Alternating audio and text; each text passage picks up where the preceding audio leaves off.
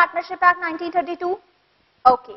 First and foremost thing, before starting this particular act, we should be very much clear what what's going to be the pattern of exam, right?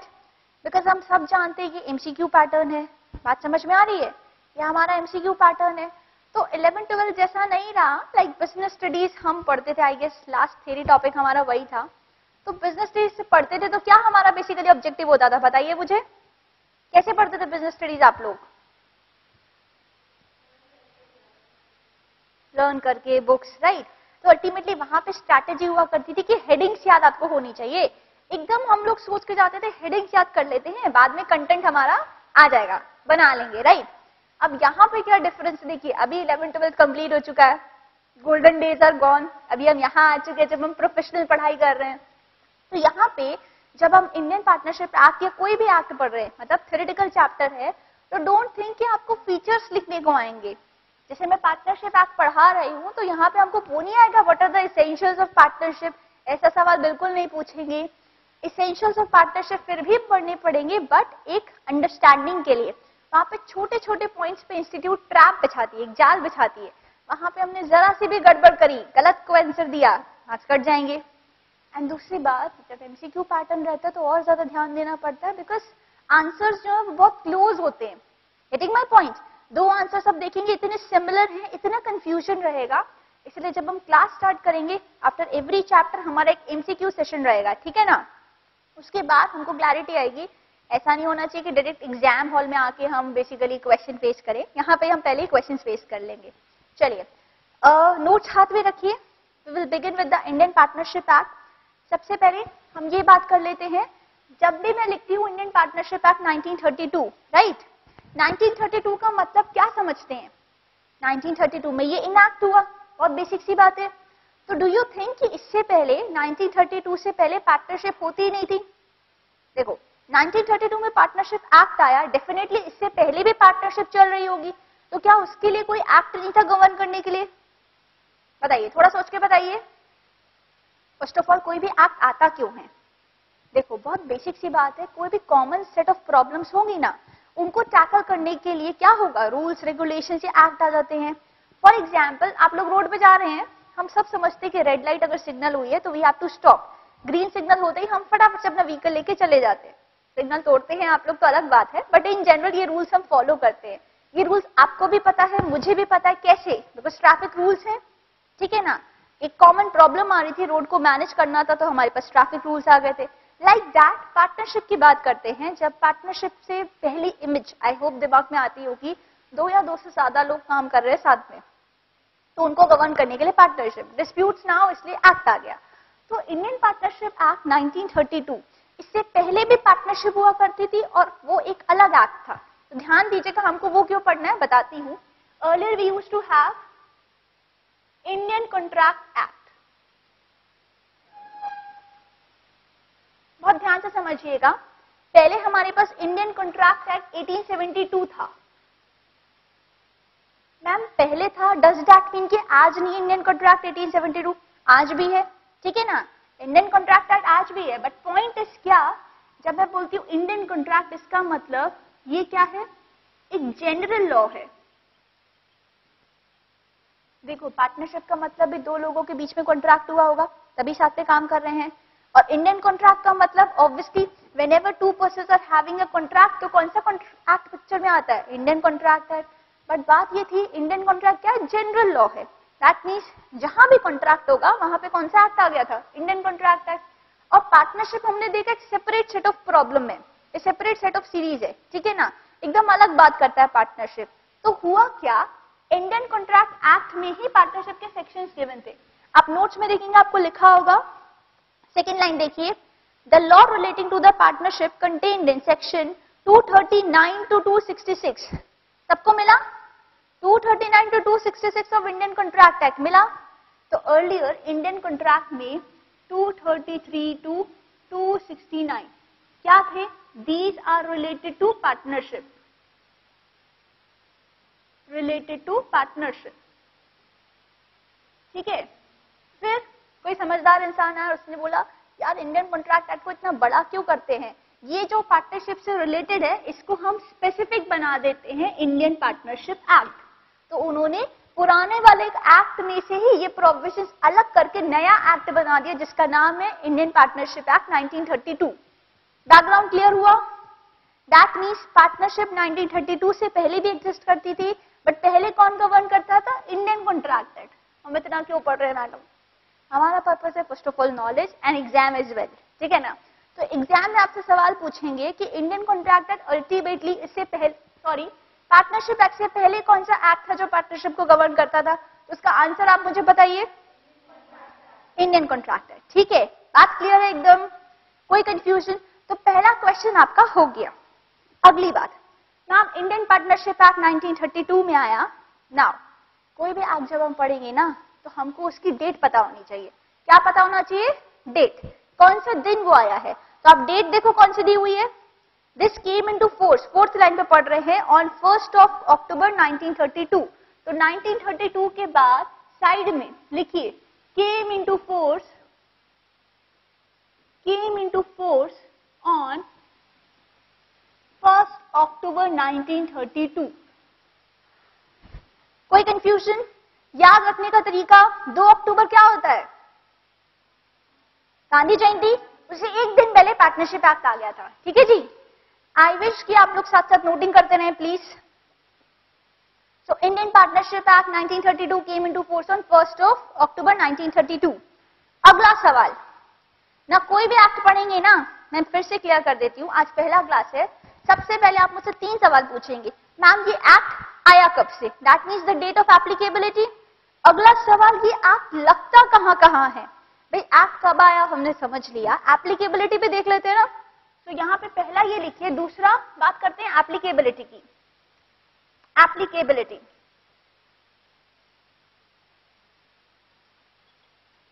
if you talk about the applicability समझिएगा बहुत ध्यान से। Applicability का मतलब ये act कहाँ कहाँ लगने वाला है? So we are concern with the geographical applicability यानी आपने बोला मैम ये एक्ट है बट ग्राउंड लेवल पे बताइए ना, ये कहाँ लगता है? तो ग्राउंड लेवल पे अगर हम बात करें तो डू यू थिंक ये पूरे इंडिया में लगता है? This act is applicable on whole of India except बताइए मुझे कंप्लीट कर पाएँगे? Except state of Jammu and Kashmir एक लाइन लिखिए। This act is applicable on whole of India. ना, जब आप नोटिंग कर रहे हैं, कोशिश करिएगा, ये पहला लाइन है, फिर ये दूसरा लाइन ये साइड में कहीं लिखिएगा कि इंडियन कॉन्ट्रैक्टर पहले था। This act is applicable on whole of India जब मैं बोलती हूँ होल ऑफ़ इंडिया इंप्लाइड बात है कि जम्मू कश्मीर भी इंडिया में आता है। भाई, हमारे कंट्री में आता है ना जम्मू कश्मीर? बिल्कुल। बट यहाँ पे उन्होंने लिखा है except state of except state of Jammu and Kashmir. My hand writing is very bad kindly cooperate मैं पूरा डिक्टेट करूँगी, आप लोग लिखिएगा। तो this act is applicable on whole of India except state of Jammu and Kashmir ठीक है ना? ऐसा क्यों? हम याद तो कर लेंगे बट कोई लॉजिक तो होना चाहिए ना। जम्मू कश्मीर का अलग लॉ चलता है। ठीक है इंडिया का पार्ट है, लेकिन अलग लॉ क्यों चलता है? थोड़ा पार्ट पाकिस्तान में भी है। ना वी बिंग द इंडियन हम बिल्कुल नहीं सपोर्ट करेंगे थोड़ा पार्ट पाकिस्तान में है। But as she said correctly देखो, हम सब जानते हैं कि Jammu Kashmir always remains a state of dispute Jammu Kashmir में हमेशा डिस्प्यूट होता है कि नहीं? वी इंडियंस हम बोलते हैं हमारा, पाकिस्तानी बोलते हैं, उनका है। दैट इज़ वाई गवर्नमेंट ने क्या किया? गवर्नमेंट ने बोला कि देखो, जम्मू कश्मीर पे सेपरेट एक्ट चलाओ। शी सेट करेक्टली कि सेपरेट एक्ट चलाएँगे। दैट मीन्स कोई भी अगर एक्ट यहाँ लगाना होता है हमको इंडिया में तो क्या होता है? फ़र्स्ट ऑफ़ ऑल एक्ट लाता कौन है? हम जानते हैं हमारे पास दो सेट ऑफ़ गवर्नमेंट रहती है सेंट्रल गवर्नमेंट और स्टेट गवर्नमेंट सो एक्ट कौन लेके आता है? Central government ruling party basically parliament के थ्रू सो so, कोई भी एक्ट पूरे इंडिया में लगना है या नहीं ये कैसे डिसाइड होता है? पूरे इंडिया में कोई भी एक्ट लग सकता है बट जम्मू कश्मीर की सरकार से परमिशन लेनी पड़ती है. क्यों? अगर इन लोगों को ज़्यादा परेशान किया, इनके ऊपर ज़्यादा एक्ट लगा दिए तो ये लोग बोल सकते हैं यार, हम तो पाकिस्तान ही चले जाते हैं इंडिया में रहेंगे तो इतने सारे एक्ट एप्लीकेबल हो जाएँगे। ठीक है? दैट इज़ कोई भी एक्ट लगता है तो हम कोई स्पेशल कोई भी लॉ पढ़ेंगे आप, आज पढ़ रहे हैं, बाद में भी पढ़ेंगे you should be very much clear whether this particular act or whether that particular law is applicable on Jammu Kashmir or not. कोई कंफ्यूजन इस बात में? पक्का क्लियर हुआ पॉइंट चलिए, अब देखते हैं कितने सेक्शंस हैं हमारे पास। तो इन ऑल पार्टनरशिप एक्ट की मैं बात करूँ तो हमारे पास 74 सेक्शंस है। कुछ ही सेक्शंस आपको पढ़ने हैं लकी पीपल तो 74 सेक्शंस है हमारे पास टोटल बट ध्यान रखना है, सारे सेक्शंस आपके कभी आ गए थे। First October 1932 except the section 69 ठीक है? तो यहाँ पे कहीं साइड में लिखिए इंडियन पार्टनरशिप एक्ट की अगर हम बात करें, इन ऑल टोटल 74 सेक्शंस तो अगला सवाल आपसे पूछ सकते हैं how many sections are there in the Indian partnership act याद रहेगा 74 बिल्कुल 74 सेक्शंस है हमारे पास, ठीक है? जब ये एक्ट आया था, सारे सेक्शंस आ गए थे एक्सेप्ट एक सेक्शन कौन सा?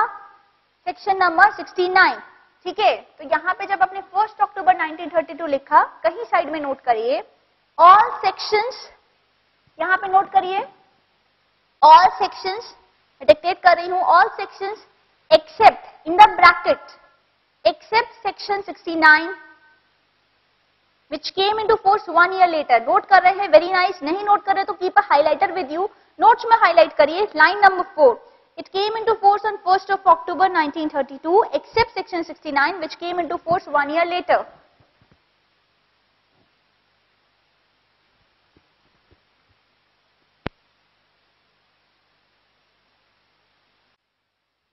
इतना हुआ? कोई दिक्कत अभी तक? एकदम आसान? तो फिर से बेस क्लियर हो गया। ये हमारा पूरा बैकग्राउंड होगा, कब ये एक्ट आया, कितने सेक्शन है, ये सब कर लिया। ठीक है जी? अब बात करते हैं रियल पार्टनरशिप की। पार्टनरशिप की डेफिनेशन क्या होती है? क्या मतलब होता है? किस टाइप का बिज़नेस कंडक्ट करती है? तो इतना नोटिंग हो गया। फटाफट से फिर आगे डिस्कस करते हैं।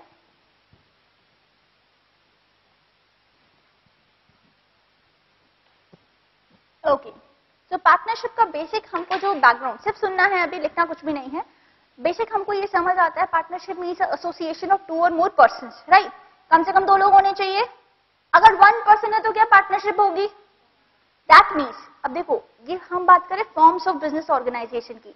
सब बिज़नेस स्टडीज़ पढ़ के आए हैं तो हम सब जानते हैं सोल प्रोपराइटर कंपनी पार्टनरशिप इन तीनों वर्ड से फेमिलियर हैं। तो सोल प्रोप्राइटर मतलब there is only one person तो सोल प्रोप्राइटर पार्टनरशिप नहीं हो सकता। क्यों? पार्टनरशिप का बेसिक फीचर है, कम से कम दो लोग चाहिए। यानी आज के लेक्चर में हमको डेफिनेटली ये डिस्कस करना होगा that how many person will constitute a partnership two or more maximum की भी कोई लिमिट होनी चाहिए कि नहीं? क्या लिमिट है मैक्सिमम की, बताइए। ओके नाउ डियर फ्रेंड्स एक प्रॉब्लम है। आप लोगों ने जो पढ़ा है that is as per companies act 1956 मैं बात अभी पे क्लियर कर देती हूँ। हुआ क्या है ना इंडियन पार्टनरशिप एक्ट है 1932 में। But law makers after all वो भी हमारे जैसे नॉर्मल ह्यूमन बींग है। गलती क्या हो गई? उन्होंने ये नहीं मेंशन किया कि कितने लोग एक्चुअली पार्टनरशिप में अलाउड होंगे। Right how many person maximum basically minimum तो टू हमको पता है। Maximum person which will constitute a partnership इन्होंने नहीं बताया था 1932 में। थोड़ा सा ज्ञान दे रही हूँ। फिर 24 ईयर लेटर लिखना कुछ भी नहीं है। 24 ईयर्स लेटर एक एक्ट आया जिसका नाम था 1956 कंप्लीट कर पाएँगे? कंपनीज़ एक्ट 1956 तो कंपनीज़ एक्ट 1956 ने क्या बताया? कितने पार्टनर होंगे? मैडम, फिर से बोलिए।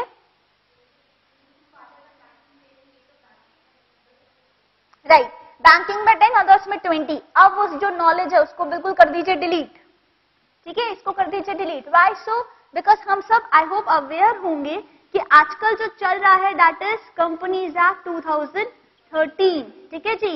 तो वो पुराना नॉलेज था बैंकिंग अदर के लिए मैम इतना बैंकिंग के लिए ये सब ये सब जो है ना डिलीट मार दीजिए इसको। गाइस सो बिकॉज़ हम अपडेटेड पढ़ रहे हैं ऑब्वियसली क्वेश्चन किस पे बेस्ड होगा? नाइन कंपनीज़ एक्ट 2013 पे। आज भी पुरानी किताबें निकालेंगे तो हो सकता है आपको वही मिले। है ना? अपने बड़े भाई बहन की पुरानी बुक्स देखेंगे बट हमको अपडेटेड पढ़ना है कंपनीज़ एक्ट 2013 कितने नंबर ऑफ़ क्वेश्चन बोलता है, ये हमारे लिए इंपॉर्टेंट है। Right right? तो कंपनीज़ एक्ट 2013 के हिसाब से मैक्सिमम कितने लोग हो सकते हैं? एनी आइडिया मैक्सिमम कितने लोग हो सकते हैं? मैक्सिमम 50 पर्सन आर रिक्वायर्ड ठीक है ना? मैक्सिमम 50 अलाउड है। अब 50 या 100 उसमें भी थोड़ा सा कंफ्यूजन है। थोड़ा होल्ड करिए, जब हम डिस्टिंग बिटवीन करेंगे कंपनी एंड पार्टनरशिप तब मैं आपको डिटेल में समझाऊँगी। बट इन जनरल आपको आइडिया देना था कि अब जो हम पढ़ेंगे डाटा एज पर कंपनी से 2013 नंबर ऑफ़ मेंबर्स वहाँ से आता है, ठीक है? चलिए तो 50 को भी अभी याद नहीं करना, उसमें भी एक कॉम्प्लिकेशन है डिस्कस करेंगे बाद में। अभी बात करते हैं पार्टनरशिप में, दो या दो से ज़्यादा लोग होने चाहिए, ठीक है? सवाल यह आता है पार्टनरशिप की कैरेक्टरिस्टिक्स की हम बात कर रहे हैं। ना फ़र्स्ट इज़ द अग्रीमेंट ठीक है? कैरेक्टरिस्टिक्स कर रहे हैं पार्टनरशिप के? तीन कैरेक्टरिस्टिक्स पढ़ाऊँगी तीनों पे बेस्ड केस स्टडी होगी। केस स्टडी समझते हैं? मैं आपको एक रियल सिचुएशन दूँगी। You need to tell me कि ये पार्टनरशिप होगा या नहीं होगा।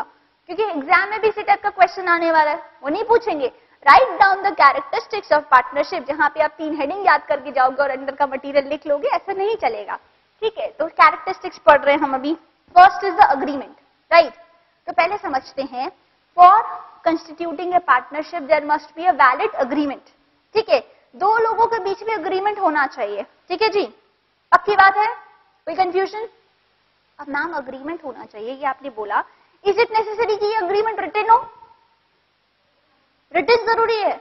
ओरल अग्रीमेंट नहीं चलेगा। मैंने और आपने ओरली बात करी कि यार हम साथ में काम करेंगे ओरल अग्रीमेंट नहीं एम्प्लाइड चलेगा। रिटर्न कंपलसरी है। Again I made it very clear agreement जो है ओरल भी हो सकता है रिटर्न भी हो सकता है। हमारा बेसिक दिमाग में जो आ रहा है मैम हम लोग को तो पढ़ाया गया था कि पार्टनरशिप डीड को रजिस्टर करा लेना चाहिए। रजिस्ट्रेशन कराने से एडवांटेजेस हैं। वो सारी चीज़ें हम बाद में देखेंगे बट आज बेस क्लियर कर लेते हैं कि पार्टनरशिप का अग्रीमेंट जो है, वो हमारे और दूसरी पार्टी में कॉन्ट्रेक्चुअल रिलेशनशिप स्टैब्लिश करता है। बट हम ये बोले कि वो रिटर्न में होना चाहिए नॉट कंपल्सरी रिटर्न के एडवांटेजेस हैं एंड प्रैक्टिकल लाइफ में हम बात करते हैं तो 99 परसेंट रिटर्न होता है but still oral is allowed ठीक है? तो उसमें आप कहा लिखोगे? देखो the relationship of partner is contractual in nature बात समझ आई? It arises out of the contract और agreement made by person is this okay पक्का? यानी कोई अग्रीमेंट होना चाहिए? ठीक है? अब अग्रीमेंट पे बेस्ड एक क्वेश्चन आता है मेरे दिमाग में। मैम, आपने बोला पार्टनरशिप है। तो अग्रीमेंट होना चाहिए। चलिए, एक एग्ज़ाम्पल देती हूँ। लेट से मिस्टर ए सोल प्रोप्राइटर है। इतना कुछ भी नहीं है, सिर्फ़ समझिएगा प्लीज़ मिस्टर ए जो है, हमारे सोल प्रोप्राइटर है। ए इंटरप्राइजेस रन करते हैं। ए इंटरप्राइजेस रन करते हैं। ठीक है जी? ओके अब हुआ क्या? मिस्टर ए की डेथ हो गई। So on the death of mister A he has got three sons ठीक है ना? इनकी डेथ के बाद, पोस्ट डेथ इनकी डेथ के बाद बी सी डी इन तीनों बेटों ने मिलकर जो है बिज़नेस को आगे बढ़ाया। कंफ्यूजन बहुत सिंपल एग्ज़ाम्पल है। तो एक काम कर रहे थे ए ऊपर चले गए, तीनों बेटे काम करने लग गए। सवाल यह आता है as you said partnership association of two or more person to carry on business basic line जो हमारे दिमाग में चलती है तो so, यहाँ पे भी एसोसिएशन है। टू और मोर पर्सन से बिज़नेस भी कंडक्ट कर रहे हैं। वेदर बी सी डी जो कि बिज़नेस कंडक्ट कर रहे हैं डू यू थिंक ये पार्टनरशिप हुआ? ये पार्टनरशिप हुआ? सोच के बताइए। बी सी डी तीनों मिलके काम कर रहे हैं। पार्टनरशिप कहलाएगा? जो ना बोल रहे हैं वो क्यों ना बोल रहे बताइए।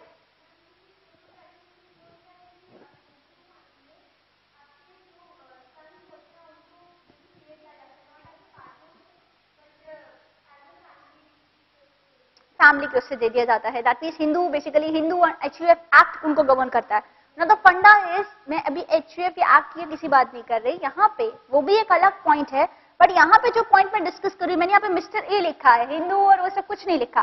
सीधी बात यह है कि सोल प्रोपरेटर की डेथ के बाद जो बाकी लोग मिलकर काम कर रहे हैं partnership came into existence only via agreement इन तीनों के बीच कोई अग्रीमेंट हुआ? नहीं। क्या मैंने ऐसा बोला आपको कि बी सी डी ने अग्रीमेंट कर लिया कि yes we will share the profit हमारे बीच एक पार्टनरशिप ऐसा तो कुछ नहीं है। पिताजी चले गए, बेटे मिलके काम कर रहे तो कोई अग्रीमेंट थोड़ी ना हुआ। And because there is no agreement no partnership came into existence बात समझ आई। अब बारी की समझ आती है। एक लेमेन ठीक है, आम आदमी से पूछो, तीन लोग मिलके काम कर रहे?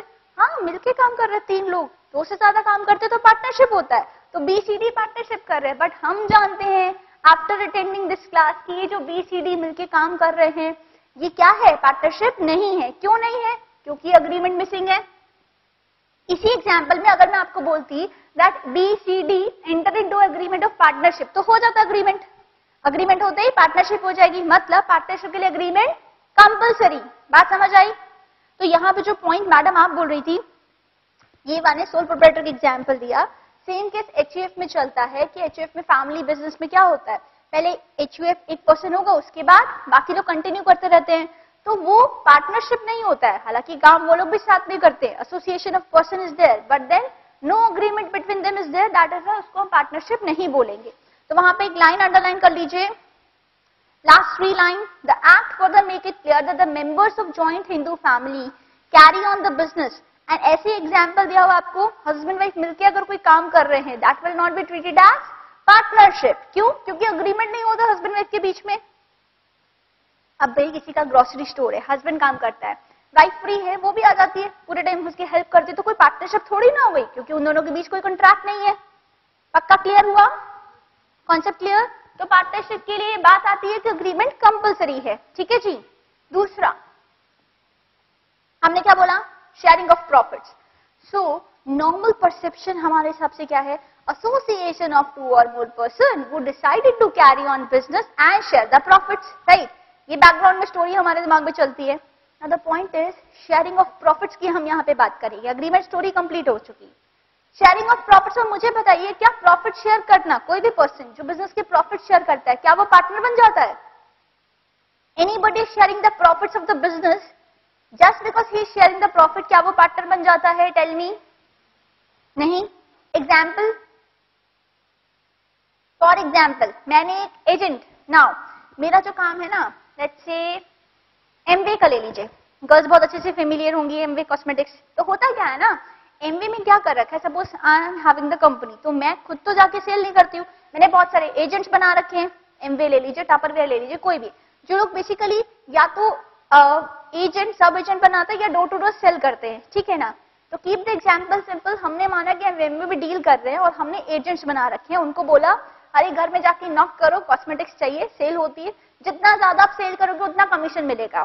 दैट मीन्स मैंने उनका कमीशन फिक्स कर दिया ऑन सेल्स बात समझ आई? अब मुझे बताओ प्रॉफिट का एक हिस्सा शेयर जा रहा है ना? भाई सेल पे प्रॉफिट होता है प्रॉफिट का एक पोर्शन किसको जा रहा है? In the form of commission agent को जा रहा है। जस्ट बिकॉज़ मैं कमीशन दे रही हूँ whether that agent become my partner बताइए। तो प्रॉफिट्स तो आप बहुत लोगों से शेयर करते हो। शेयरिंग ऑफ़ प्रॉफिट बेसिकली एक पॉइंट है बट ये प्राइमा फेशियल एविडेंस नहीं है कि जस्ट बिकॉज़ कोई प्रॉफिट शेयर कर रहा है तो हम उसको पार्टनरशिप मान लें। वट माई पॉइंट तो प्रॉफिट शेयर करना अलग बात हो गई। अब इसमें भी ये बात आती है कि शेयरिंग ऑफ़ प्रॉफिट्स में हम सबने बेसिक आई होप पढ़ा हुआ है कि पार्टनरशिप डीड होती है। तो जैसा डीड बोलेगी, वैसा करना है। No deed is there then equal sharing होता है। ठीक है ना? अच्छा इज़ इट पॉसिबल कि कोई पार्टनर लॉसेस शेयर ना करे? क्या ऐसा अलाउ कर सकते हैं? इंस्टीट्यूट का फेवरेट क्वेश्चन ठीक है ना? ऐसा सवाल बार बार वहाँ पे पूछा जाता है प्रोफेशनल एग्ज़ाम में तो we should be very much clear that there can be a situation where one partner is allowed to share only profits बात समझ आई? आप चार लोग हो बिज़नेस में, ठीक है ना? आप चारों में अग्रीमेंट के थ्रू ऐसा हो सकता है कि ये जो है ना, सिर्फ़ प्रॉफिट्स को शेयर करें। प्रॉफिट्स आएँगे, ये सबसे पहले आगे देखेंगे। लॉसेस गायब। ठीक है ना? तो ऐसा पॉसिबल है। यानी कुछ लोग लॉसेस ना शेयर करें, ये अलाउड है। ठीक है ना? ये उनके अग्रीमेंट पे डिपेंड करता है। तो पहली बात समझ आई शेयरिंग ऑफ़ प्रॉफिट्स में हमको फ़र्स्ट पॉइंट ये कि प्रॉफिट शेयर करने का मतलब ये नहीं है कि पार्टनर हो जाएँगे। ठीक है? प्लस लॉसेस ना शेयर करें, वो भी चलेगा। ठीक है? क्लियर है ये पॉइंट अच्छा अब मुझे बताना जब हम बात प्रॉफिट्स की कर रहे हैं तो मान लीजिए चार लोग मिलके चार पाँच लोग मिलकर लेट से बड़ा एक चैरिटेबल काम कर रहे हैं। मान लीजिए अडल्ट एजुकेशन वो बेसिकली सोच रहे यार अडल्ट एजुकेशन होनी चाहिए। सो so, आप जैसे स्टूडेंट्स ही हैं कोचिंग क्लास अटेंड करने के बाद एक घंटा किसी अडल्ट को पढ़ाते अनपढ़ इंसान को यू नो एजुकेट कर रहे हैं राइट फ्रॉम द बिगनिंग चार पाँच लोग मिलकर काम कर रहे हैं चैरिटेबल काम है? अच्छा काम कर रहे हैं? तो यू थिंक ये पार्टनरशिप होगा? आप लोग मिलके काम कर रहे हो फोर और मोर पर्सन यार पार्टनरशिप तो टू और मोर पर्सन की बात करता है, बताइए। वाई नॉट एग्जैक्टली अग्रीमेंट नहीं है, पहली बात, ठीक है ना? दूसरी बात चैरिटेबल काम कर रहे हो शेयरिंग ऑफ़ प्रॉफिट की तो बात ही नहीं आई। दैट मीन्स जब भी मैं चैरिटेबल की बात करूँगी चैरिटेबल में प्रॉफिट्स तो होते ही नहीं है। कोई भी चैरिटी का काम कर रहे हैं सेवा सेवा में लगे हुए हैं तो फिर उसमें पार्टनरशिप नहीं हो सकती है। तो ध्यान रखिएगा no charitable work can be floated on partnership ये बात क्लियर है। चैरिटेबल के लिए हमारे पास बहुत सारे अलग फॉर्म ऑफ़ बिज़नेस है। आप कोई एनजीओ बना लीजिए ट्रस्ट बना लीजिए, सब चलेगा। पार्टनरशिप टिपिकली प्रॉफिट बात क्लियर है। इवन कंपनी में भी नॉट फॉर प्रॉफिट बिज़नेस चलता है। प्लीज़ थोड़ा सा ध्यान ले लीजिए। कंपनी फॉर्म ऑफ़ बिज़नेस में भी हम एक अलग सेट बनाते हैं कि ये कंपनी नॉट फॉर प्रॉफिट है। But partnership not for profit ऐसा कुछ नहीं होता है लॉ में। ठीक है जी? पक्का क्लियर कोई कंफ्यूजन ओके अगला देखिए। देखो यहाँ पे लिखा हुआ है नेक्स्ट पेज पे first line a manager who as a part of his remuneration मिला सबको? First line a manager who as a part of his remuneration share the profits of the business he is only a employee and not a partner is this okay पक्का चलिए madam clear है next business carried on by all or any of them acting for all क्या लिख रहे हैं हम? Third point business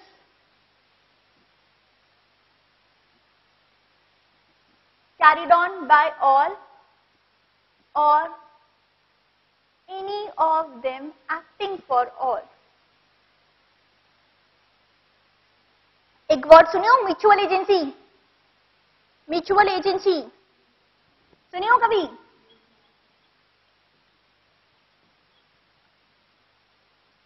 क्या होता है ये? समझते हैं। पार्टनरशिप में business carried can be carried on by all or any of them acting for all that means suppose हम चार पार्टनर हैं तो या तो आप चारों काम करो, या फिर सिर्फ़ ये काम करें आप तीनों के बिहाफ पे तो भी वो पार्टनरशिप हुई ना। पक्की बात समझ आती है? That means it is the special feature most special feature of partnership is mutual agency देखो, बात समझना नॉर्मल हम जो पढ़ते हैं, उसमें क्या होता है? बिज़नेस फॉर्म में देखिएगा, एक प्रिंसिपल होता है, एक एजेंट होता है। ठीक है ना? प्रिंसिपल एजेंट को अपॉइंट करता है एजेंट को कमीशन देता है राइट बट हमेशा वो प्रिंसिपल प्रिंसिपल ही रहेगा। मैम, ये बात थोड़ी कम समझ में आ रही है है ना? देखते हैं अभी। Mister X mister Y principal है एजेंट है, ठीक है? अभी अगर इस टाइप का रिलेशनशिप है इनका सपोज़ ये वाराणसी में प्रिंसिपल हैं। इन्होंने इनको कुछ माल बेसिकली एग्ज़ाम्पल ध्यान से सुनिएगा प्लीज़ इनको बॉम्बे में कुछ माल सेल करना है तो ये यहाँ पे है। इन्होंने बॉम्बे में एक एजेंट को अपॉइंट किया, ठीक है?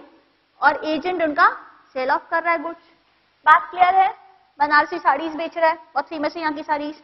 तो पॉइंट ये है कि किसी भी फॉर्म में प्रॉफिट तो शेयर हो रहे शेयरिंग ऑफ़ प्रॉफिट तो डेफिनेटली है। भाई एजेंट प्रॉफिट शेयर करेगा ना सेल का सर्टेन परसेंट कमीशन लेगा। बट सवाल ये आता है कि यहाँ पे इनका रिलेशनशिप आपस में कैसा रहेगा? ये हमेशा बॉस और ये एजेंट बात समझ में आई? Only in case of partnership एक पर्सन ठीक है? पार्टनरशिप पे क्या होगा? एक पर्सन सेम टाइम पे प्रिंसिपल भी होता है एजेंट भी होता है। बात समझ में आई? प्रिंसिपल आपस में एजेंट बिज़नेस का। क्लियर है? दैट मीन्स सिर्फ़ पार्टनरशिप में ऐसा होता है कि एक पर्सन जो पार्टनर है, उसको हम प्रिंसिपल भी बोलेंगे। वो बॉस भी है और वो एजेंट भी है। बात क्लियर है? सिर्फ़ पार्टनरशिप में ऐसा होगा। सोल प्रोपराइटर में एक ही पर्सन होता है। सवाल ही नहीं आता। कंपनी में बहुत सारे लोग होते हैं। बट वहाँ पर प्रिंसिपल और एजेंट थोड़ी ना चलता है। मैं भी शेयर होल्डर हूँ, आप भी शेयर होल्डर हो, हम दोनों का स्टेटस इक्वल है। पार्टनरशिप में हम नौकर भी हैं और अब मालिक भी हैं। बात समझ में आई? पक्का क्लियर है? तो business can be carried on by all या तो सारे लोग काम करें या एनी ऑफ़ दैम चलेगा। ठीक है जी? कोई कंफ्यूजन अब एक मेरे दिमाग में एक फिर से एग्ज़ाम्पल आ रहा है।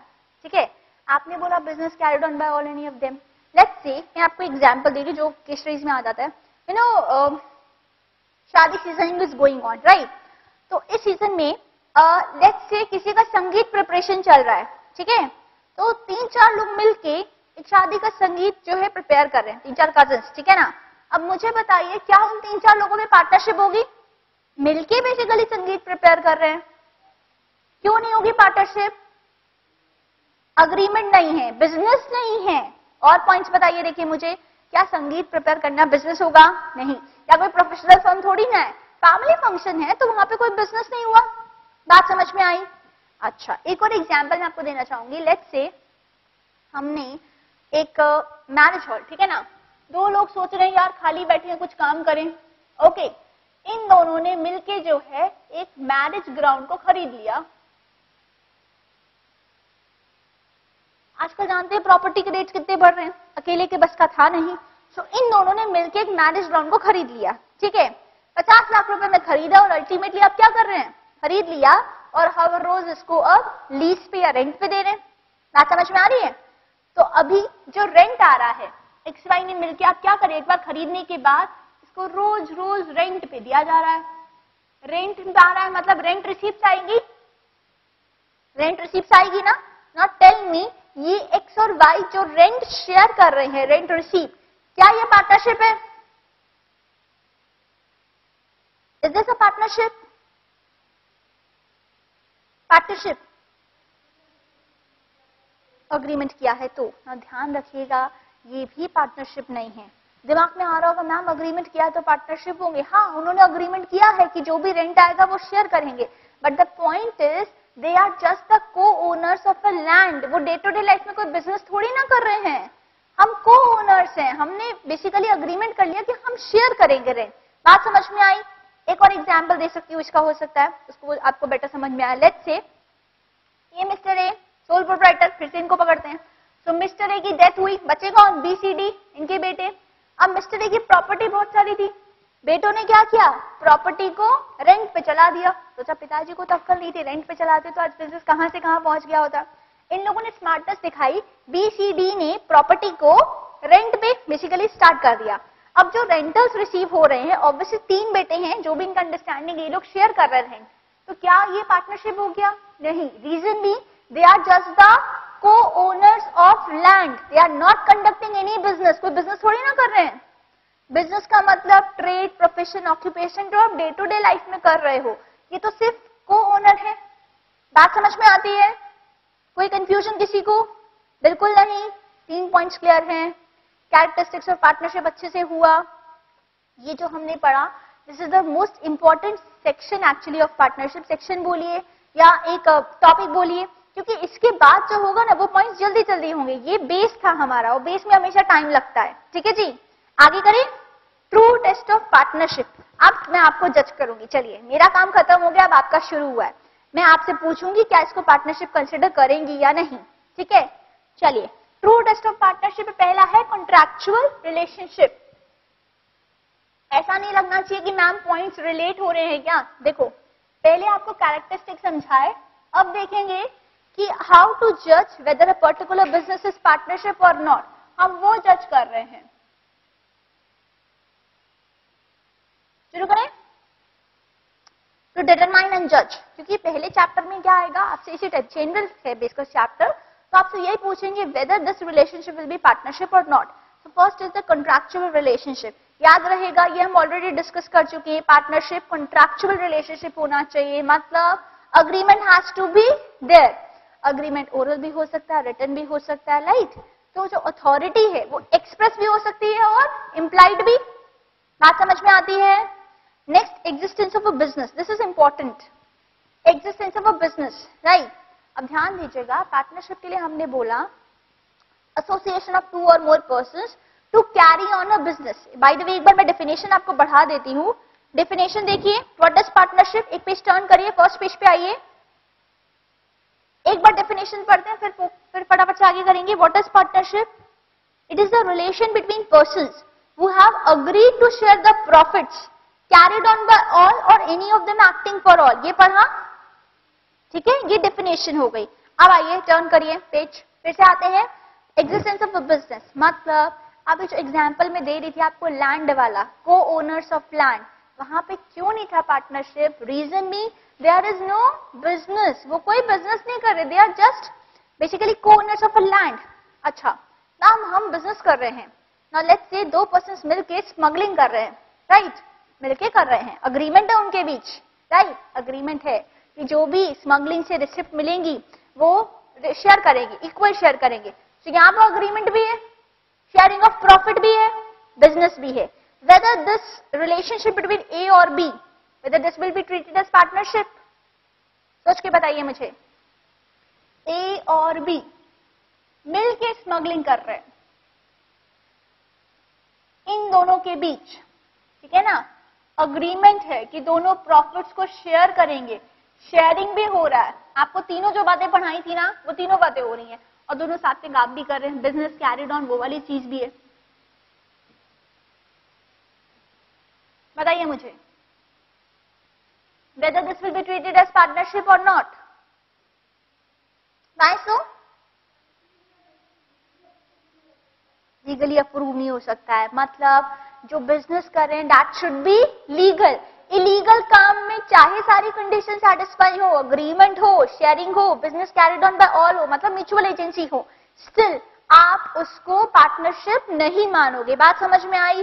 दैट मीन्स पार्टनरशिप बोलता है। वो फिर से डेफिनेशन याद दिलाती हूँ मैं आपको। डेफिनेशन में लिखा हुआ है व्हेन टू और more person decided to carry on a business तो कैरी ऑन अ बिज़नेस पे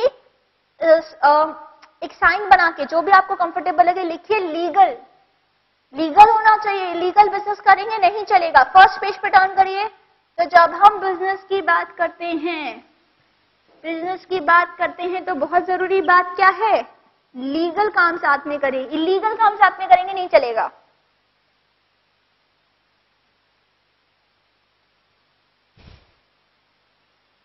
आगे बढ़े.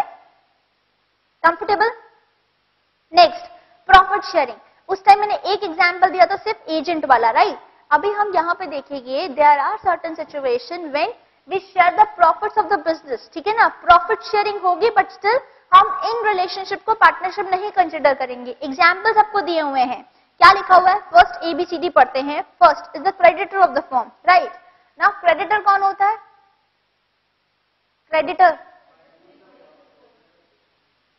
business is taken the money from the creditor right अभी क्रेडिटर को अगर मैं पैसे नहीं चुकाऊं तो क्रेडिटर मेरे को कंडीशन लगाता है कि तुम्हारे बिज़नेस का इतना परसेंट प्रॉफिट दो तो मेरे पैसे नहीं चुका रहे हो लाइक like दैट तो जो भी हम क्रेडिटर को बेसिकली शेयर कर रहे हैं राइट शेयरिंग हो रहा है between me and creditor this will not be a partnership right next common example जो एग्ज़ाम में बार बार पूछा जाता है the widow of the widow और child of a disease partner what happens is X Y Z तीन लोग अच्छे से काम कर रहे थे पार्टनरशिप था इनका, ठीक है ना? पार्टनरशिप में पहले ही लिख देती हूँ, मैं पूछूँगी नहीं आपसे कि ये पार्टनरशिप है या नहीं। इस बार ये पार्टनरशिप है। अभी क्या हुआ? वाई की all of a sudden death हो जाती है। बहुत ही सैड हो गया। Now in that case Y का एक छोटा सा किड है right Y is having a kid family भी है। अभी एक्स और जेड बहुत इमोशनल हो गए। उन्होंने क्या डिसाइड किया? यार, ये जब तक बड़ा ना हो तब तक क्यों ना हम एक फर्म का अपना एक शेयर जो है भाई वाई ने इतने साल हमको शेयर किया है ठीक है ना? सर्व किया है फर्म को। सो so, एक ऐसा अरेंजमेंट किया जाए एक्सोजेड ने डिसाइड किया। बच्चे कौन थे? एक्सोजेड इन दोनों ने मिलकर डिसाइड किया कि जो भी प्रॉफिट्स होंगे ना प्रॉफिट्स का एक पार्ट इस फैमिली को देते हैं यार। आफ्टर ऑल हम लोग पार्टनरशिप पे इतने साल तक काम साथ काम किए हैं। तो अभी एक प्रॉफिट्स का एक पोर्शन हम इसकी फैमिली को देते हैं। ताकि ये लोग अपनी लाइफ लीड कर पाए। शेयरिंग ऑफ़ प्रॉफिट है कि नहीं? भाई प्रॉफिट्स का अगर आप एक हिस्सा दे रहे हो तो sharing of profit is there but still is there any partnership between X Z and this kid and wife बताइए मुझे। देर इज़ नो पार्टनरशिप ना? सो हम वही एग्जाम्पल्स कर रहे हैं कि sharing of profit is there but partnership नहीं है। तो विडो और child of a disease person वो receive share of the profits of business annuity समझ आया? Next a person receiving a share in consideration of sale of business अगला example लीजिए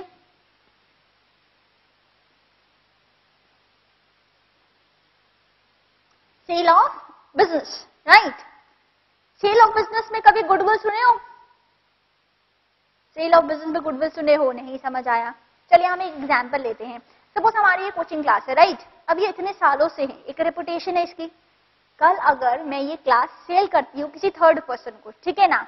अभी अगर ये क्लास अगर हम सेल करते हैं थर्ड पर्सन को तो मुझे बताइए क्लास के नाम से जिस दिन उस क्लास अगली क्लास वाला आएगा खोलेगा स्टूडेंट्स आ जाएँगे कि नहीं? नाम से आएँगे रेपुटेशन की बात हो रही है। सो so, जब हम सेल करते हैं अपने एग्जिस्टिंग बिज़नेस को तो हम सामने वाले से क्या मांगते हैं? एक तो पैसे दो हम तुमको सेल कर रहे हैं in the form of consideration plus हम उससे क्या डिमांड करते हैं? वी डिमांड बताइए एक वर्ड मुझे, हम क्या डिमांड करते हैं? गुडविल हम गुडविल डिमांड करते हैं, ठीक है ना? जो भी रेपुटेड बिज़नेस वाले होते हैं, वो ऑब्वियसली अगर किसी को अपना सेल करते हैं तो क्या डिमांड करेंगे? गुडविल सो गुडविल के लिए, अब जो पर्सन आ रहा है, सर, मेरे पास गुडविल के लिए पैसे नहीं है। आपको ऑलरेडी इतना कंसिडरेशन दे दिया, आपका एक क्लास इतना महँगे पे खरीदा है, अब गुडविल के लिए पैसे नहीं है। तो मैं क्या कंडीशन लगाऊँगी? आई बिंग द ओनर मैं कंडीशन लगा सकती हूँ कि ठीक है you are not having the money as of now but अगले 10 सालों तक तुम बिज़नेस रन करोगे तो एक एक्स परसेंटेज मुझे प्रॉफिट्स का दोगे। बात समझ में आती है? कोई कंफ्यूजन यहाँ पे? पक्का? तो वहाँ जो प्रॉफिट्स का शेयरिंग हो रहा है that will also be treated as बताइए मुझे। Will that be treated as partnership there will be no partnership सिर्फ़ शेयरिंग ऑफ़ प्रॉफिट्स हो रहा है, ठीक है? तो बैकग्राउंड में एग्ज़ाम्पल हमेशा याद रहना चाहिए। शेर सागर अगर अपना सेल करता है तो क्या सिर्फ़ उतनी सी जगह की वैल्यू लेगा? जगह की वैल्यू से कई ज़्यादा अपनी रेपुटेशन चार्ज करेगा in the form of goodwill ठीक है? ओके एम्प्लॉय और agent receiving share in the profit ये हम ऑलरेडी कर चुके हैं right so there are cases जहाँ पे sharing of profit is there but then it will not constitute a partnership यानी sharing of profit prima facie evidence है partnership का। एक वर्ड में यूज़ करूँगी।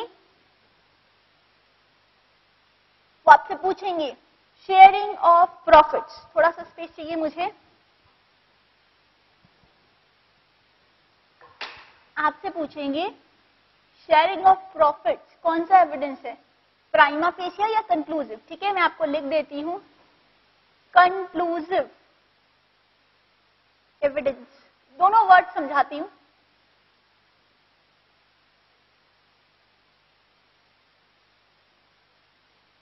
देखिए, क्या लिखा है मैंने? पहले समझिए। शेयरिंग ऑफ़ प्रॉफिट पूछेंगे। Is this a conclusive evidence और is this a prima facie So, sharing of profit is not a conclusive evidence of partnership. Conclusive का मतलब? 100 परसेंट प्रॉफिट शेयर हो रहा है 100 परसेंट पार्टनरशिप ऐसा नहीं है ना? प्रॉफिट शेयर होता तो ऊपर से लगता है हाँ यार पार्टनरशिप जैसा कुछ सेटअप है. बट हमको देखना पड़ता है इट इज़ नॉट नेसेसरी तो sharing of profit prima facie prima facie समझते हैं? प्राइमरी फ़ंक्शन नहीं प्राइम ऑफ़ एशिया का मतलब फ़र्स्ट इंप्रेशन ठीक है ना? पहली बार जब शेयरिंग ऑफ़ प्रॉफिट आता है तो prima facie it appears ठीक है ना? कोई क्राइम होता है, मान लीजिए, घर में एकदम लूटपाट हो गई तो हम नहीं बोलते प्राइम ऑफ़ एशिया लगता है कि इसके जो भी सर्वेंट है, उन लोगों ने ऐसा कुछ किया है। फ़र्स्ट इंप्रेशन ठीक है ना? प्राइम ऑफ़ एशिया का मतलब वो होता है नॉट प्राइमरी तो कंक्लूसिव एविडेंस है हंड्रेड परसेंट की कंक्लूसिव एविडेंस है पार्टनरशिप का नहीं, क्योंकि हमने इन नंबर ऑफ़ एग्जाम्पल्स देखे जहाँ पे sharing of profit is there but partnership नहीं है। बात क्लियर है? इसको नोट करिए प्लीज़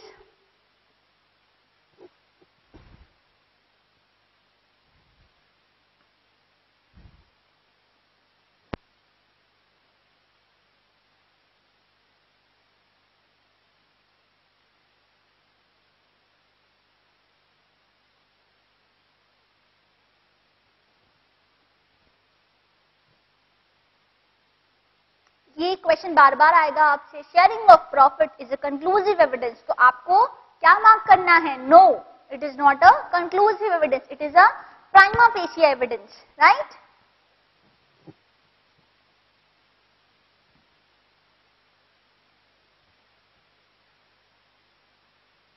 अभी तक एकदम comfortable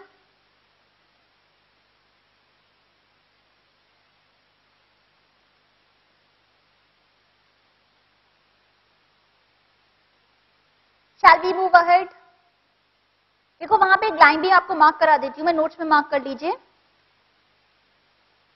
प्रॉफिट शेयरिंग का second line it may not be taken as a sole criteria for determining relation of partnership मिलता है सबको? ठीक है जी? और वो थोड़ा सा टिक कर लीजिए there may be person second para में third line second para third line there may be person who are receiving मिला सबको? There may be persons who are receiving share but they will not considered as partners सबको मिलता है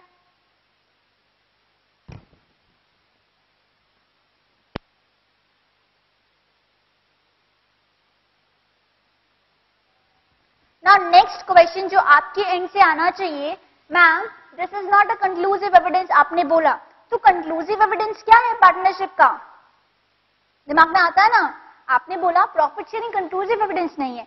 तो conclusive evidence कौन सा है?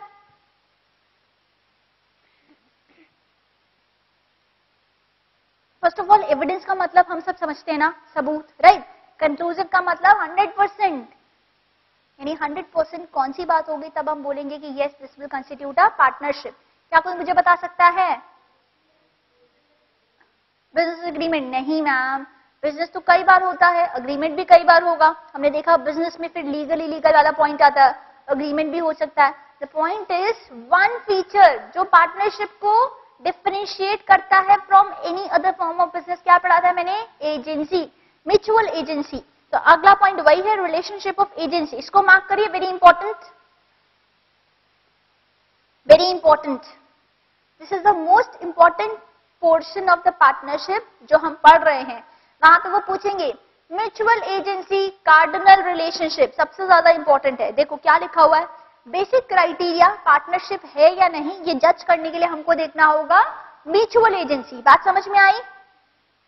म्यूचुअल एजेंसी का मतलब क्या होता है? देखो, बात समझना। हमने देखा, वो तो लाइन हमने थेरेटिकली समझी कि one person at the same time principal and agent होगा राइट अब आप ध्यान से देना, फॉर्म में ए बी सी तीन लोग हैं राइट अब अगर ए कोई काम करता है राइट बहुत ध्यान से समझिएगा बोर्ड पे प्लीज़ एक्ट ऑफ़ ए ठीक है ना? Act of A act of A will bind bind समझते हैं?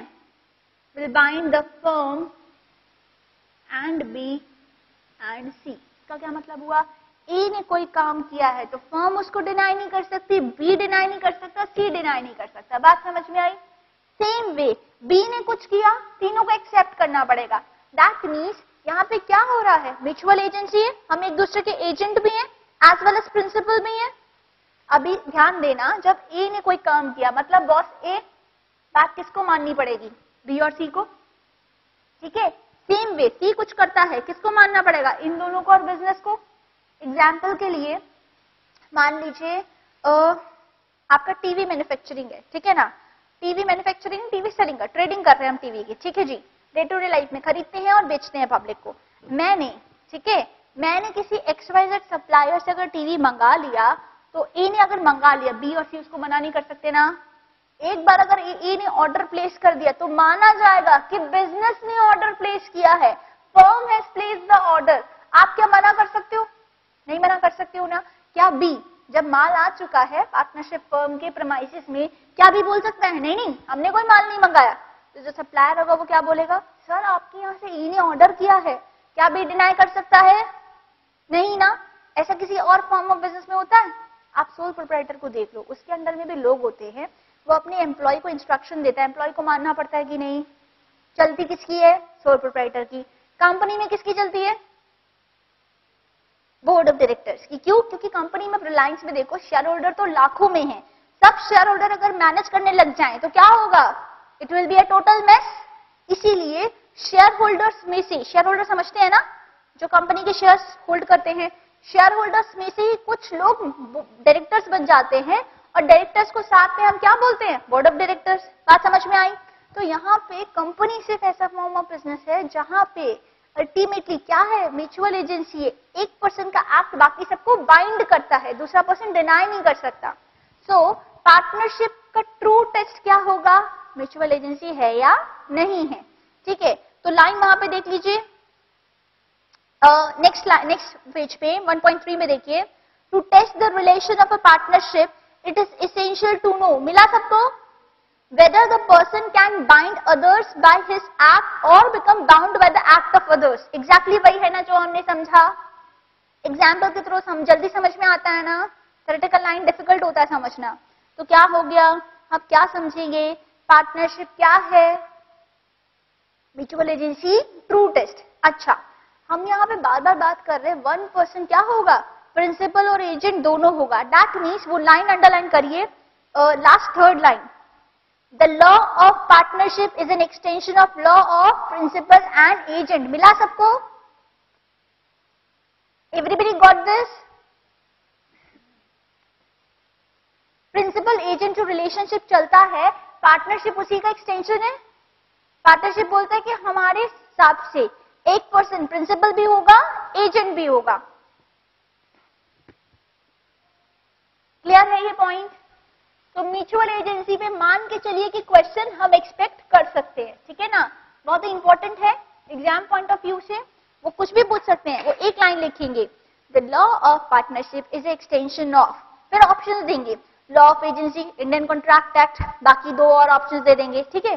तो you should be very much clear अब आधा अधूरा पढ़ के जाएँगे तो वहाँ पे, यार क्लास में कॉन्ट्रैक्ट की बात तो कुछ हुई थी, है ना? कॉन्ट्रैक्ट पर टिक करके आ जाएँगे, गलत हो जाएगा। तो be very clear law partnership किसका एक्सटेंशन है? बोलिए मेरे साथ। यस चलिए। अब देखते हैं पार्टनरशिप फर्म पार्टनर तीनों में क्या फ़र्क होता है। मैं तीन वर्ड्स यूज़ करूँगी, ठीक है? पार्टनर फर्म पार्टनरशिप ठीक है जी? कोई कंफ्यूजन यहाँ पे? देखो, अगर ए बी सी एग्ज़ाम्पल के लिए ए बी सी ठीक है? मान लीजिए सारी कंडीशन सेटिस्फाई हो रही है पार्टनरशिप की। ए बी सी में मैं इंडिविजुअली ए को क्या बुलाऊँगी? Partner that means individually a partner individually एक पर्सन को जो हम बुलाते हैं, वो होता है पार्टनर ठीक है जी? ओके ए बी सी तीनों को मिलके मैं क्या बुलाऊँगी? पार्टनरशिप या फर्म पार्टनरशिप पक्का? गलत है। ए बी सी तीनों को मिलके हम बोलेंगे फॉर्म है ये। देखो, जैसे सोल प्रोपराइटर हमारा एक फॉर्म ऑफ़ ऑर्गेनाइजेशन हुआ लाइक दैट फॉर्म हम ये बोलेंगे, मान लीजिए ए बी सी तीनों ने मिलकर कॉन्ट्रैक्ट प्लेस किया। तो मैं क्या बोलूँगी? फॉर्म हैज़ प्लेस्ड कॉन्ट्रैक्ट बात समझ में आती है? हम फॉर्म वर्ड यूज़ करते हैं। पार्टनरशिप हैज़ प्लेस्ड कॉन्ट्रैक्ट नहीं बोलते। पार्टनरशिप सिर्फ़ एक फॉर्म ऑफ़ ऑर्गेनाइजेशन हो गया। एक्चुअल में डे टू डे लाइफ में हम यूज़ करेंगे फॉर्म ठीक है ना? बात समझ में आई? यहाँ पे वो लाइन देखिए, क्या लिखा हुआ है? Person who entered in to the partnership with one and other are individual partners मिला सबको? And collectively the name under which business is carried on is पर नेम बात समझ में आती है? आप हमेशा देखो, जो भी बिज़नेस होंगे, जैसे मेसर्स ये मेसर्स ये, वो मेसर्स एक ट्रेंड चलता है। लाइक like दैट जो डे टू डे लाइफ में कलेक्टिवली बिज़नेस करते हो, उसको किस नाम से करेंगे? फर्म के नाम से करेंगे। हालाँकि अकाउंट्स में मुझे पता है, जब हम पढ़ते हैं अकाउंट्स में पढ़ा हुआ ना पार्टनरशिप सबका? थोड़ा बहुत। हम वहाँ पे लिखते हैं partners capital account partnership account ठीक है? वहाँ से वो बेस चला रहा है और हम देखते हैं, यार कलेक्टिवली तो we call it partnership but आज हमने देखा collectively we call it firm बात समझ आई? फिर पार्टनरशिप क्या है? Partnership is merely abstract legal relation between the partner ठीक है ना? रिलेशनशिप आपस में दोनों, ये ए बी सी कलेक्टिवली ए को इंडिविजुअली बोला पार्टनर तीनों को साथ में, ये तीनों को साथ में हम बोलेंगे फर्म और ए के ए और बी के बीच में बी और सी के बीच में, या किसी के भी बीच में, जो रिलेशन है, उस रिलेशनशिप को हम बोलते हैं पार्टनरशिप कोई पूछेगा ए और बी क्या है? तो आप बोलोगे they are in partnership but A B C क्या है? फॉर्म याद रहेगा? पक्का? कोई कंफ्यूजन नहीं? क्वेश्चंस बहुत आते हैं। वहाँ पे वो पूछेंगे form dash is merely abstract relation question सुनिए आंसर करिएगा please dash is abstract relationship between the partners आप क्या आंसर लिख के आएँगे? फॉर्म या पार्टनरशिप डैश क्वेश्चन फिर से सुन लीजिए। डैश यहाँ से क्वेश्चन चालू हो रहा है। Is an abstract relation between partner ऐसा अगर सवाल आता है टेल मी इस क्वेश्चन का आंसर क्या देंगे? पार्टनरशिप या firm 100 percent sure so partnership इसका आंसर होगा. कॉपी करिए इतना, फिर हम डिस्टिंग बिटवीन देखते हैं.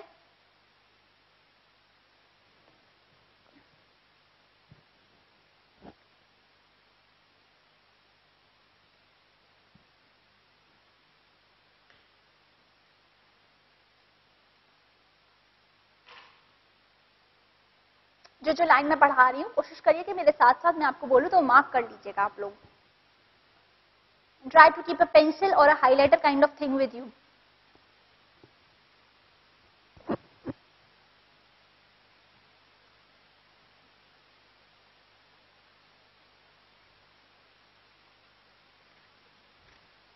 Shall we move ahead?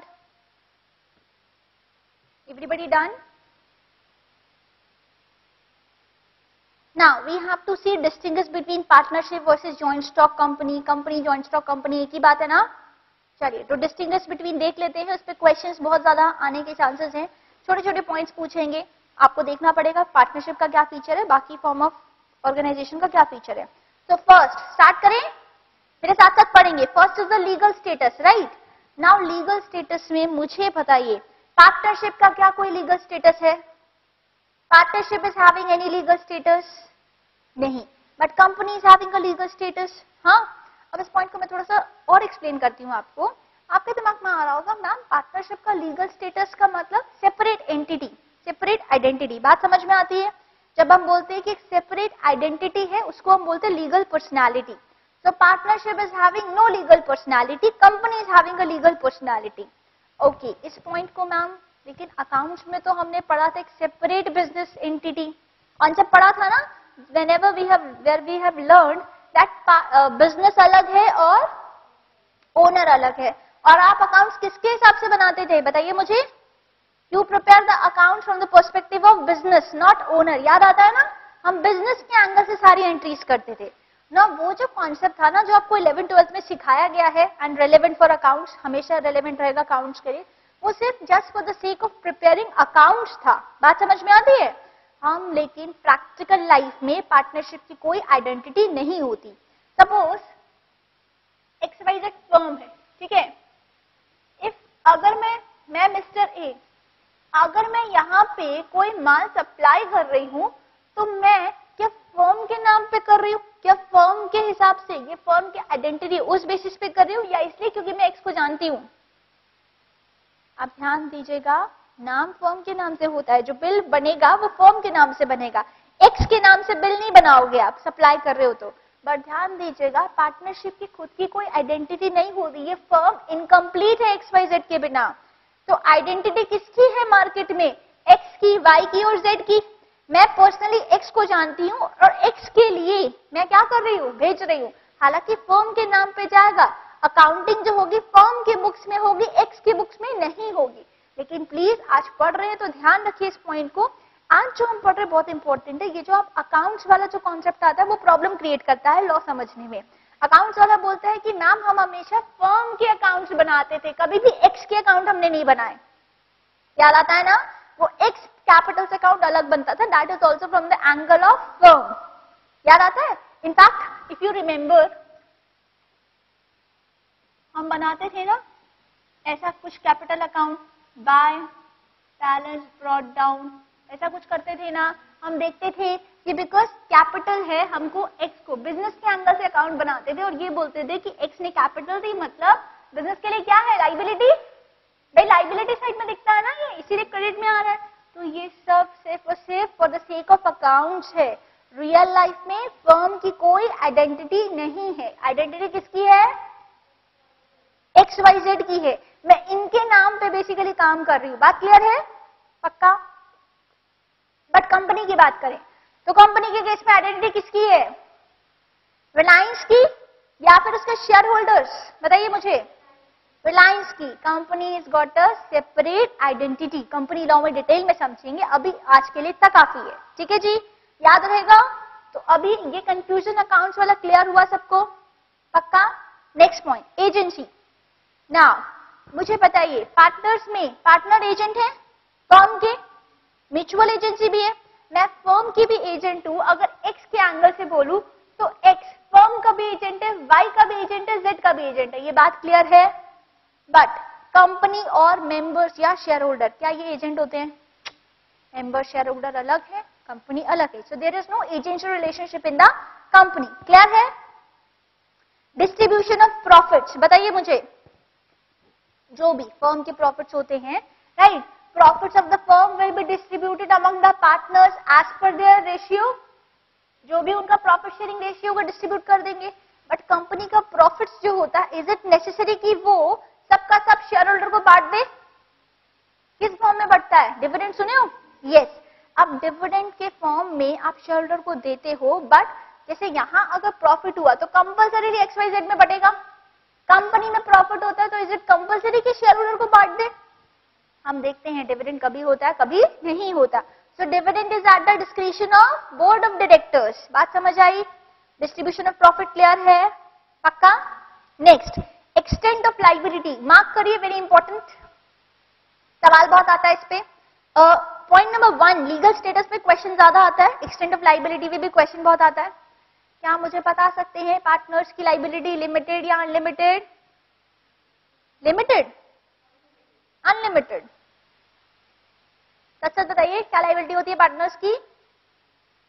देखो लाइबिलिटी की अगर मैं बात करूँ, ठीक है? आज क्लियर कर लेते हैं। Sole proprietor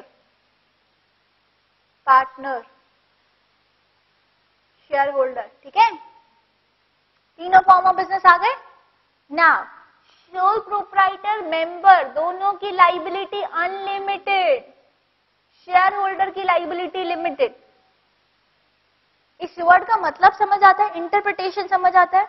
When I say unlimited liability, it means अगर बिज़नेस ने ध्यान दीजिएगा यहाँ पे if business has taken a loan right मैं अगर बिज़नेस उसका लोन रीपेमेंट नहीं कर पाता in that case suppose bank से लोन लिया है, अगर बैंक को ये बिज़नेस लोन रीपेमेंट नहीं कर पाता बैंक वाला इस सोल प्रोप्राइटर की, इस पार्टनर की पर्सनल प्रॉपर्टी भी बेच सकता है।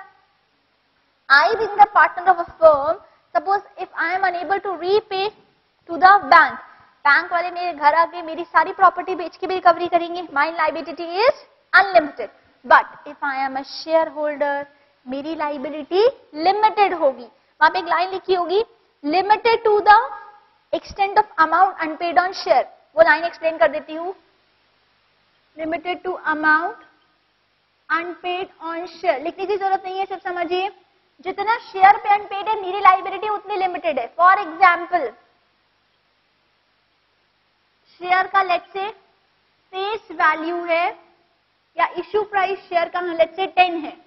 ठीक है? हम सब जानते हैं एप्लीकेशन अलॉटमेंट सब सीख के आए ना? सो so, कंपनी ने till now company till now call कितना किया है? लेट से रुपीज़ सिक्स ठीक है? So I being a shareholder, my liability is limited to only rupees six दे चुके हैं। कंपनी ने छह रुपए कॉल कर लिया है। मतलब मैंने पे किया होगा। अभी कितना कॉल नहीं किया कंपनी ने? Four so as a share holder my liability is limited only to rupees four ये बात क्लियर है? पक्का?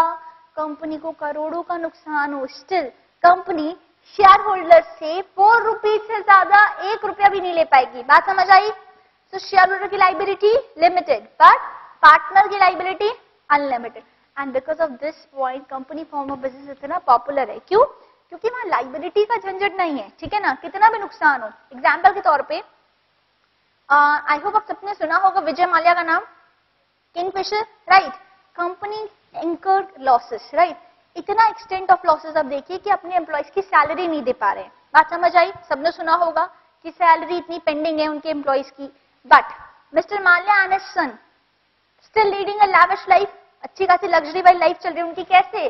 बिकॉज़ ऑफ़ दिस फीचर अगर लाइबिलिटी है तो किसकी है? कंपनी की है। कंपनी और मिस्टर माल्या अलग अलग पर्सन है। बात समझ आती है? मिस्टर माल्या की लाइबिलिटी जितना शेयर्स पे मनी पेंडिंग है, बस। बाकी डूबे तो कंपनी डूबे।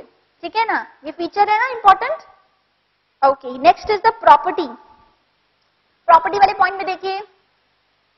क्या लिखा हुआ है? The firm's property is that which is the estate of all the partners ठीक है ना? हालाँकि प्रॉपर्टी पार्टनर के अलग होती है। ये मिस्टर एक्स का घर अलग होगा फर्म की प्रॉपर्टी अलग होगी। बट कंपनी के केस में क्या है? Property should be in the name of company ठीक है ना? रिलायंस की सारी प्रॉपर्टीज़ क्या मिस्टर अंबानी के नाम पे है रिलायंस के नाम पे रिलायंस के नाम पे होंगी। ठीक है जी? नेक्स्ट पॉइंट पे आइए। ट्रांसफ़र ऑफ़ शेयर्स ना you may feel ma'am partnership में कहा शेयर होता है? शेयर होता है क्या? जब हम बात करते हैं ट्रांसफ़र ऑफ़ शेयर की इट डज नॉट मीन वो वाला शेयर सर्टिफिकेट वैसी बात नहीं कर रही हूँ।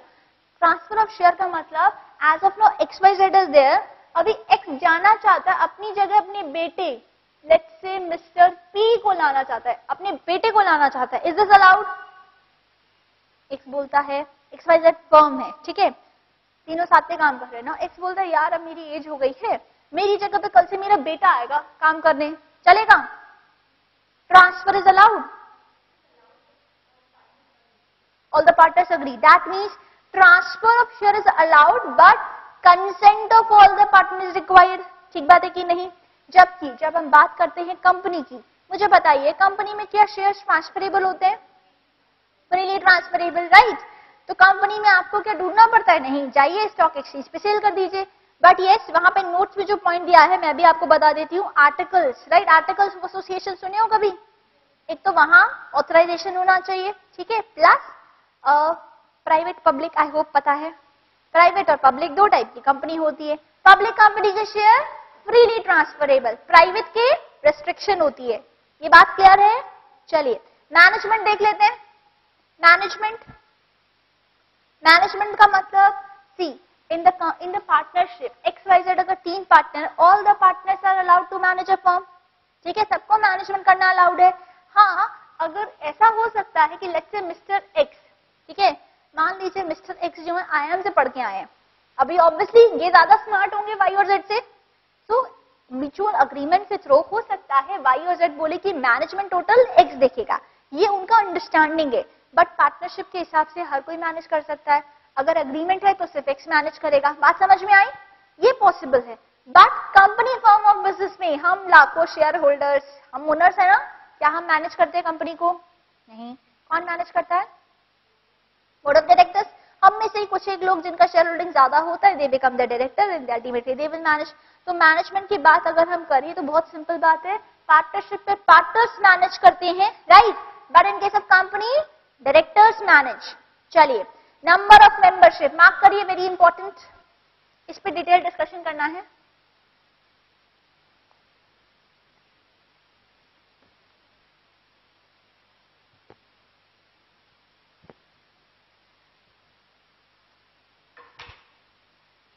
नंबर ऑफ़ मेंबरशिप ध्यान से देखिएगा प्लीज़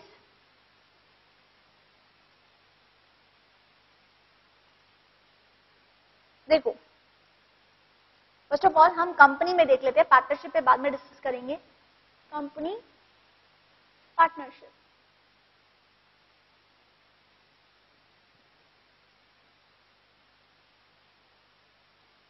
ऑब्वियसली हम मैक्सिमम मेंबर्स की बात कर रहे हैं। ठीक है ना? मिनिमम में तो कोई दिक्कत नहीं है। मैक्सिमम में देखिए कंपनी को डिवाइड करते हैं प्राइवेट और पब्लिक में। When I write C O dot it always mean company ठीक है ना? प्राइवेट पब्लिक ना मुझे बताइए, क्या प्राइवेट कंपनी पे कोई रिस्ट्रिक्शन होती है? Regarding the number of members private company है। प्राइवेट का मतलब हम प्राइवेटली मैनेज करना चाहते हैं तो डेफिनेटली नंबर ऑफ़ मेंबर्स कितने होने चाहिए? मैक्सिमम मेंबर्स यहाँ पे हैं 200 ठीक है ना? यानी 200 से ज़्यादा मेंबर्स नहीं हो सकते।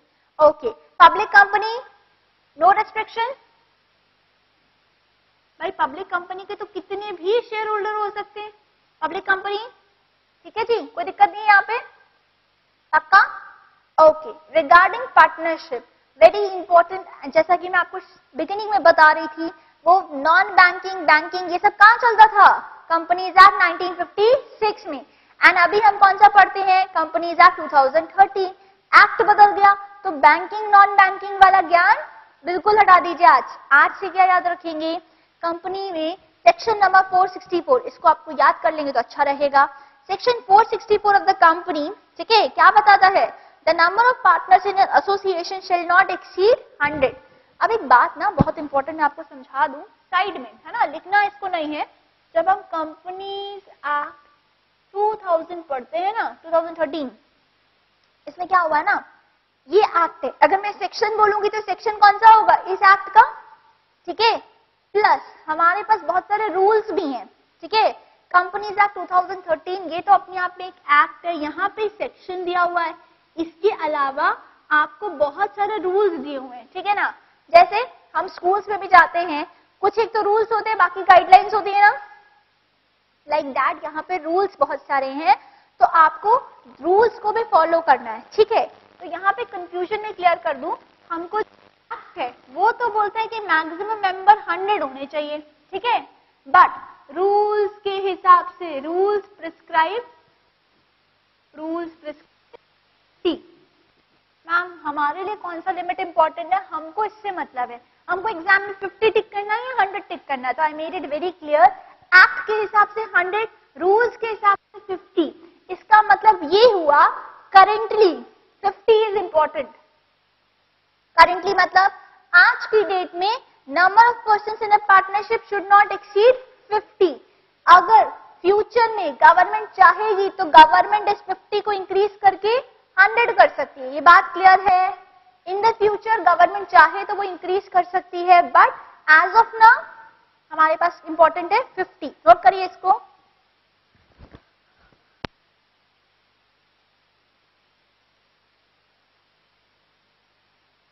लिसन कंपनीज़ एक्ट लिमिट देता है. कंपनीज़ एक्ट 2013 लिमिट बताता है 100 as per the rules company rules ही हैं, ठीक है ना? कोई दूसरे रूल्स नहीं पढ़ा रही हूँ. कंपनी रूल्स के हिसाब से वी हैव गॉट नंबर 50 तो आप दोनों लिमिट लिखो.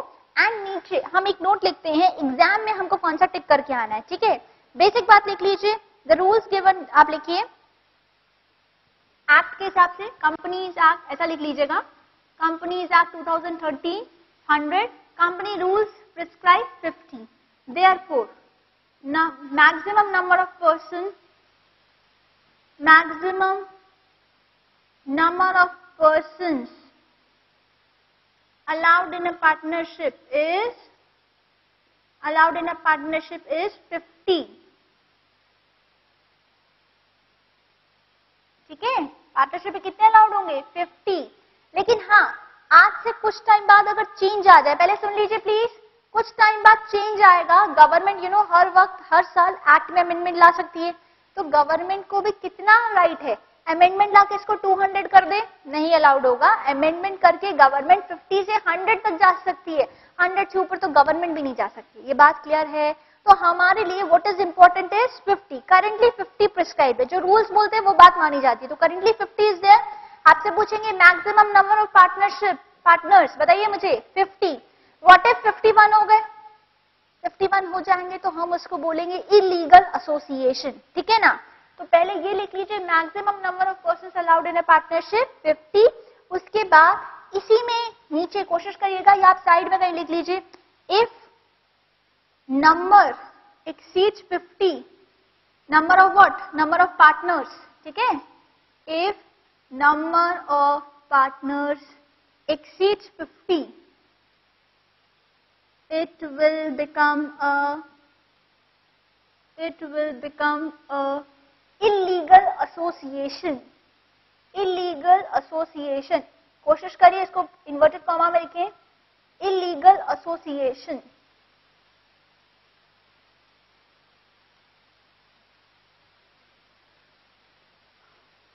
ओके ये भी क्वेश्चन आ सकता है. What if number of partners exceed X Y Z firm is having is having partners sixty it should be term dash तो A B C में आपको टिक करना होगा इलीगल एसोसिएशन करेक्ट है? पक्का? आगे बढ़े? ड्यूरेशन ऑफ़ एग्जिस्टेंस चलिए, मुझे बताइए पार्टनरशिप का ड्यूरेशन होता है? May be may be not sometimes जैसे नॉर्मल कोर्स में ड्यूरेशन नहीं होता बट कभी कभी क्या होता है ना लेट से कोई रोड बनाने का प्रोजेक्ट है, ठीक है?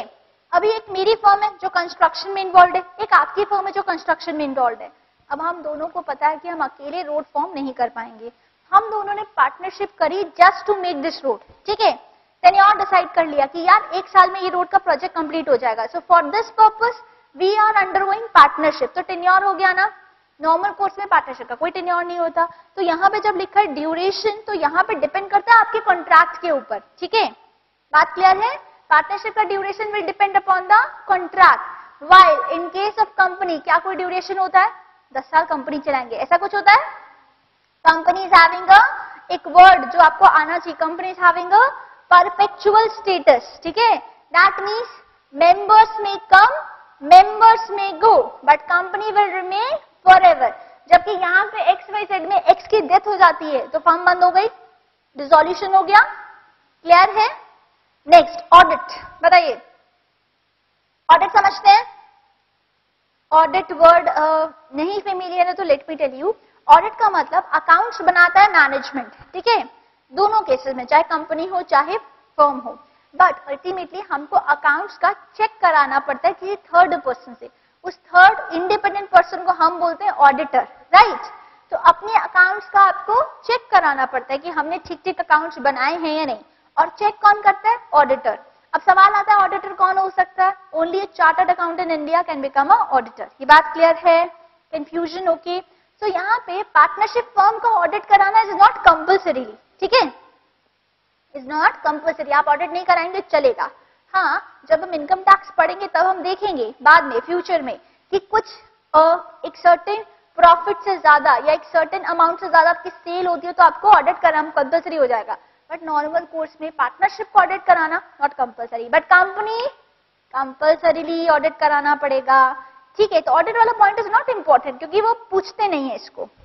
नेक्स्ट देखें। Partnership versus H U F again distinguish between okay first point mode of creation अब इसमें इतनी दिक्कत नहीं आएगी। पार्टनरशिप बताइए, कैसे होती है? Via agreement Hindu undivided family जो लाइन आपको आनी चाहिए that is H U F is created by status status word को करिए अंडरलाइन या circle whatever you want status is very important एक एच यू एफ़ ऑलरेडी चला आ रहा है एनी पर्सन जो भी पर्सन उस फैमिली में basically any person take birth in that family just because उस फैमिली में उसने बर्थ लिया है, उस स्टेटस से वो एच यू एफ़ का मेंबर बन गया ना. अग्रीमेंट थोड़ी ना हुआ जस्ट बॉर्न बेबी का और फैमिली का. बट स्टिल वो ऐसे ही चलता है. क्योंकि पार्टनरशिप में agreement is required death of a member बताइए। पार्टनरशिप में one member died normally dissolution होता है। दिमाग में आ रहा होगा मैम बाकी बच्चे लोग भी तो कंटिन्यू करते हैं। हमने तो पार्टनरशिप अकाउंट्स बनाए हैं आई होप बनाए हैं ना? डेथ के बाद क्या होता है? बाकी लोग कंटिन्यू कर रहे हैं। गेनिंग रेशियो और वो सब निकालते थे राइट ये सारी बातें ठीक हैं बट अल्टीमेटली नॉर्मली वो होता है रिकॉन्स्टिट्यूशन अगर वर्ड सुने हो तो। बट नॉर्मली पार्टनर की डेथ के बाद फॉर्म डिजोल्यूट हो जाती है, फिर जो बच्चे हुए पार्टनर से वो लोग फिर से मिलकर फॉर्म बनाते हैं लाइक दैट चलता है। But in case of H किसी की डेथ होती है तो कुछ नहीं फ़र्क पड़ता, ठीक है? Does not give rise to dissolution ये इंपॉर्टेंट है हमारे लिए। Does not give rise to dissolution management बताइए मुझे पार्टनरशिप में वो will manage all partners but in case of H one person very important क्या बोलते उसको? Karta head of the family that person use to manage authority to bind मिला सबको? Authority to bind ये वाला पॉइंट कौन सा वाला है? म्यूचुअल एजेंसी वाला. So a partner can by his act bind the firm clear है? But in case of H क्या होगा? बताइए मुझे. Only the karta has the authority to bind karta ने जो बोल दिया, बाकी सब मेंबर्स को मानना पड़ेगा। बट दूसरे बिज़नेस में ऐसा चलता है? आई I मीन mean, बाकी मेंबर्स अगर कुछ बोलते तो क्या वो बाइंडिंग होगा? नहीं। कर्ता जो बोलता है वो बाइंडिंग होता है। लाइबिलिटी देख लीजिए फटाफट से। पार्टनरशिप लाइबिलिटी एच में लाइबिलिटी इंपॉर्टेंट बात है आप ध्यान दीजिए एचयूएफ में लाइबिलिटी अगर पूछे तो हमसे पूछेंगे मैम किसके पूछ रहे हैं? आप ये बताइए। You should ask me karta की या अदर मेंबर्स तो पॉइंट इज़ एच में कर्ता की लाइबिलिटी होती है अनलिमिटेड ठीक है? और बाकी मेंबर्स की लाइबिलिटी होती है limited limited to what extent जैसे शेयर में हमने बोला था कि जितना अनपेड अमाउंट है, उतना तक लिमिटेड होगी। यहाँ पे कहाँ तक लिमिटेड होगी? जितना शेयर उनको मिला प्रॉपर्टी में। क्या लिखा हुआ है? अदर को partners are liable only to the extent of their share in the profits of family business ठीक है जी? क्लियर है? तो वहाँ पे कर्ता की लाइबिलिटी कभी कभी पूछ लेते हैं अलग से। Okay calling for accounts on closure बताइए मुझे, क्या मतलब हुआ इसका? अगर आप क्लोज करते हो, ठीक है तो आप मुझे बताइए, क्या बाकी मेंबर्स डिमांड कर सकते हैं? क्या कोर्ट में सूट फ़ाइल कर सकते हैं? डेफिनेटली फॉर्म बंद हो रही है डिसोल्यूशन हो रहा है। If I am not satisfied as a partner I can definitely sue the other partners H में ऐसा होता है क्या? ओनली ऑन सेपरेशन ठीक है? एक्सेप्ट ऑन सेपरेशन क्या लिखा हुआ on the separation of joint family a member is not entitled to ask for accounts of the family business आप ये डिमांड नहीं करोगे। चलो कोर्ट में, सिर्फ़ पार्टीशन वाला केस अलग होगा बट नॉर्मल कोर्स में you are not suppose to ask for the accounts right बात समझ आई? नेक्स्ट गवर्निंग लॉ बहुत सिंपल कौन सा लॉ चलता है? पार्टनरशिप में। Partnership act 1932 Hindu undivided family पे Hindu law okay minor capacity minor समझते हैं? माइनर कौन होता है? बताइए मुझे। Below eighteen right Indian contract act की एक लाइन बाई हार्ट हम कर लेंगे उस टाइम आज सिर्फ़ समझ लेते हैं। अ माइनर के not enter into a contract ठीक है, एक माइनर कॉन्ट्रैक्ट नहीं कर सकता। तो पार्टनरशिप में बताइए मुझे, क्या पार्टनर बन सकता है? पार्टनर बन सकता है? अगर सिर्फ़ बोलेंगे नहीं तो आंसर इनकम्प्लीट लगेगा। Normally a partner can not be entered as a minor can not be entered as a partner right but he can be admitted for benefits benefits के लिए पार्ट माइनर को एंट्री दे देंगे। That means losses हुआ तो minor नहीं share करेगा। Profit हुए तो कर सकता है। ओके हिंदू अनडिवाइडेड फैमिली में क्या स्टेटस है? देव बताइए मुझे। A minor becomes a member by incidence of birth just birth लिया है वो तो मेंबर बन गया। सो so, माइनर वाला पॉइंट वहाँ पे रेलेवेंट नहीं है। बात क्लियर है? पक्का? ओके कंटिन्यूटी में बताइए मुझे। कंटिन्यूटी में बताइए पार्टनरशिप कब तक चलेगी? अब तो पढ़ चुके हैं हम। जब तक डिजोल्यूशन नहीं होता, ठीक है? और जबकि ज्वाइंट हिंदू अनडिवाइडेड फैमिली में क्या है? पार्टीशन तक, ठीक है ना? पार्टीशन पे क्या होता है? H F come to end Saint अब जो, जैसे अब एक फैमिली है, ठीक है ना? Mister A is there H चला रहे अपना। अच्छा खासा चल रहा है। अभी एच एफ़ कब तक चलेगा? जब तक फैमिली में पार्टीशन ना हो। लेट्स से मिस्टर बी और सी दोनों बेटे उसके अलग हो जाते हैं। तो बी का अलग फैमिली बन गया सी का अलग बन गया एच पे ब्रेक लग गया। अभी बी अपनी फैमिली में एच अलग चला सकता है, ठीक है? पॉइंट समझ आया ये? पक्का? यानी एक बार पार्टनरशिप होती है एंड हो जाता है। लास्ट डिफरेंस और देख लें पार्टनरशिप वर्सेस को ओनरशिप ठीक है जी? तो फॉर्मेशन को ओनरशिप में याद रखिएगा, वो पीस वाला लैंड जो था मैंने, कि एक मैरिज ग्राउंड को दो लोग मिलके होल्ड कर रहे हैं, हम वो कर रहे हैं। दो पर्सन दो पर्सन साहब को ओनर्स बात की थी ना? उसी को डिस्कस करें। Formation partnership always arise out of a contract express और इम्प्लाइड को ओनरशिप में क्या हो सकता है? It may arise from agreement और बाय ऑपरेशन ऑफ़ लॉ ध्यान दीजिएगा को ओनरशिप में अग्रीमेंट भी हो सकता है। हम दो अनरिलेटेड लोग हैं। हम दोनों ने मिलकर मैरिज हॉल खरीदा। अग्रीमेंट किया होगा। ठीक है? बट ये तीनों बहने, ठीक है? साथ में प्रॉपर्टी चला रही है। तो इनहेरिटेंस था। पापा की प्रॉपर्टी आपको मिल गई इनहेरिट किया आपने उत्तराधिकारी तो बाय ऑपरेशन ऑफ़ लॉ भी फॉर्मेशन हो सकता है अग्रीमेंट भी हो सकता है ओके पार्टनरशिप में अग्रीमेंट कंपल्सरी इंप्लाइड एजेंसी बताइए मुझे partners agent co-owners. We are not agent, right? Nature of interest. Nature of interest बहुत सिंपल है कि यहाँ पे प्रॉफिट्स और लॉसेस दोनों शेयर होते हैं बट यहाँ पे क्या होगा? Co-ownership does not necessary involve sharing of profits and losses right next transfer of interest बताइए मुझे। पार्टनरशिप में इंटरेस्ट कभी ट्रांसफ़र होता है। Only on the consent okay co-ownership में बताइए मुझे। विदाउट द कंसेंट हो सकता है। सी मेरी property we are co-owners now अगर मैं चाहूँ तो मैं मेरी प्रॉपर्टी मेरी बेटी को गिफ्ट कर सकती हूँ राइट फिर वो और आप बेसिकली क्या हो जाओगे? को ओनर तो यहाँ पे वो लाइन इंपॉर्टेंट कर अंडरलाइन कर लीजिए a co-owner may transfer without consent of others a co-owner may transfer without consent of others is this okay comfortable आगे का कंटिन्यू करें। शैल proceed?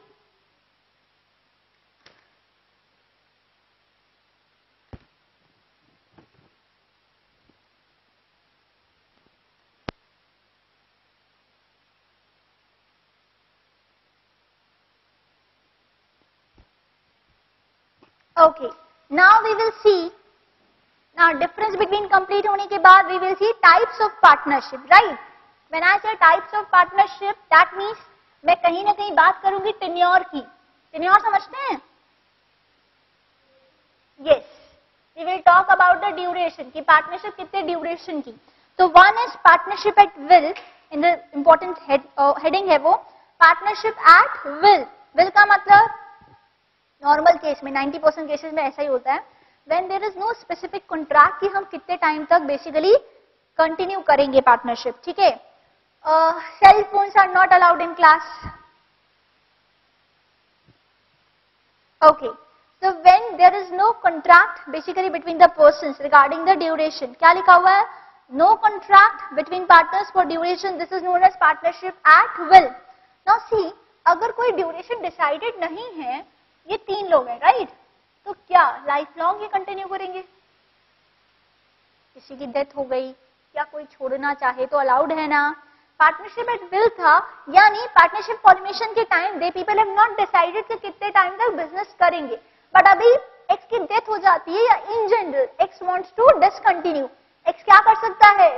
सबको इंफॉर्मेशन देगा कंसेंट ऑफ़ ऑल से डिसोल्यूशन हो जाएगा। इज़ दिस ओके क्लियर है? और दूसरा वाला कौन सा होगा? Partnership is form for a particular purpose वो रोड कंस्ट्रक्शन वाला। हमने एक बेसिकली कॉन्ट्रैक्ट उसको हम कभी कभी ज्वाइंट वेंचर भी बोलते हैं राइट किसी एक पर्टिकुलर वेंचर के लिए। चलिए देखिए particular partnership a person may become a partner with some other partner in particular business enterprise for a particular venture such as construction of road, laying railway line, right? क्योंकि ये ऐसे काम है कि अकेले तो हो नहीं सकते। तो हम लोगों ने सिर्फ़ मिलकर ये काम कंडक्ट करने के लिए पार्टनरशिप की। जैसे ही काम कंप्लीट हुआ, आप अपने रास्ते में मेरे रास्ते। ठीक है जी? क्लियर है? तो ये हो जाता है types of partner important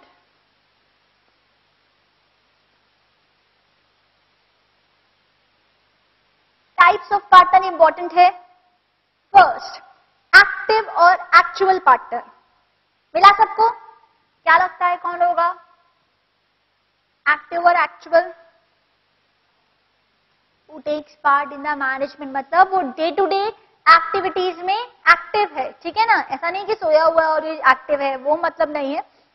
To participate in the management of day to day activity ठीक है? उसको हम बोलेंगे एक्टिव पार्टनर ना because he is actively participating in the management so obviously every person dealing with the firm is aware of this person let's say Mr. X की बात करती हूँ। बहुत एक्टिव है, ठीक है? अब मुझे बताना, अगर ये पर्सन एक्टिव है तो बाहर वाले जितने भी लोग हैं, वो सब एक्स को जानते होंगे। In case X wants to retire तो क्या करना पड़ेगा? He need to give a public notice तो लाइन इज़ वेरी इंपॉर्टेंट बहुत ध्यान से ये पॉइंट याद रखिएगा। पूछेंगे एग्ज़ाम में active partner when retire he is suppose to give a public notice क्यों? क्योंकि बाकी सब लोग इसको जानते हैं ना। ठीक है जी? So whenever active person return he need to give a public notice is this okay पक्का? Okay next point dormant of sleeping partner dormant of sleeping partner वो होता है वो does not take part in the management active part नहीं ले रहा है। ठीक है? मिस्टर वाई सिर्फ़ नाम के लिए पार्टनर ठीक है? ऐसा हम नॉर्मली पढ़ते हैं बट नाम के लिए कोई दूसरा होगा मैं फिर से क्लियर कर दूँ। सो so, ये डॉर्मेंट पार्टनर है एक्टिवली पार्टिसिपेट नहीं करते जो भी शेयर ऑफ़ प्रॉफिट होता है अपना ले लेते हैं। ना in this case because he is sleeping partner so outsiders इसको जानते होंगे क्या? नहीं। That means on his retirement he is not suppose to give a public notice ये बात क्लियर है। तो यहाँ पे देखो क्या लिखा हुआ है? Since he is not involve in the management of the firm he is not known to partners ठीक है? इतनी लाइन लिखी है। उसके आगे एक लाइन एड करिए। On retirement is not required to give public notice on requirement on requirement on requirement he is not liable yeah he is not supposed to give public notice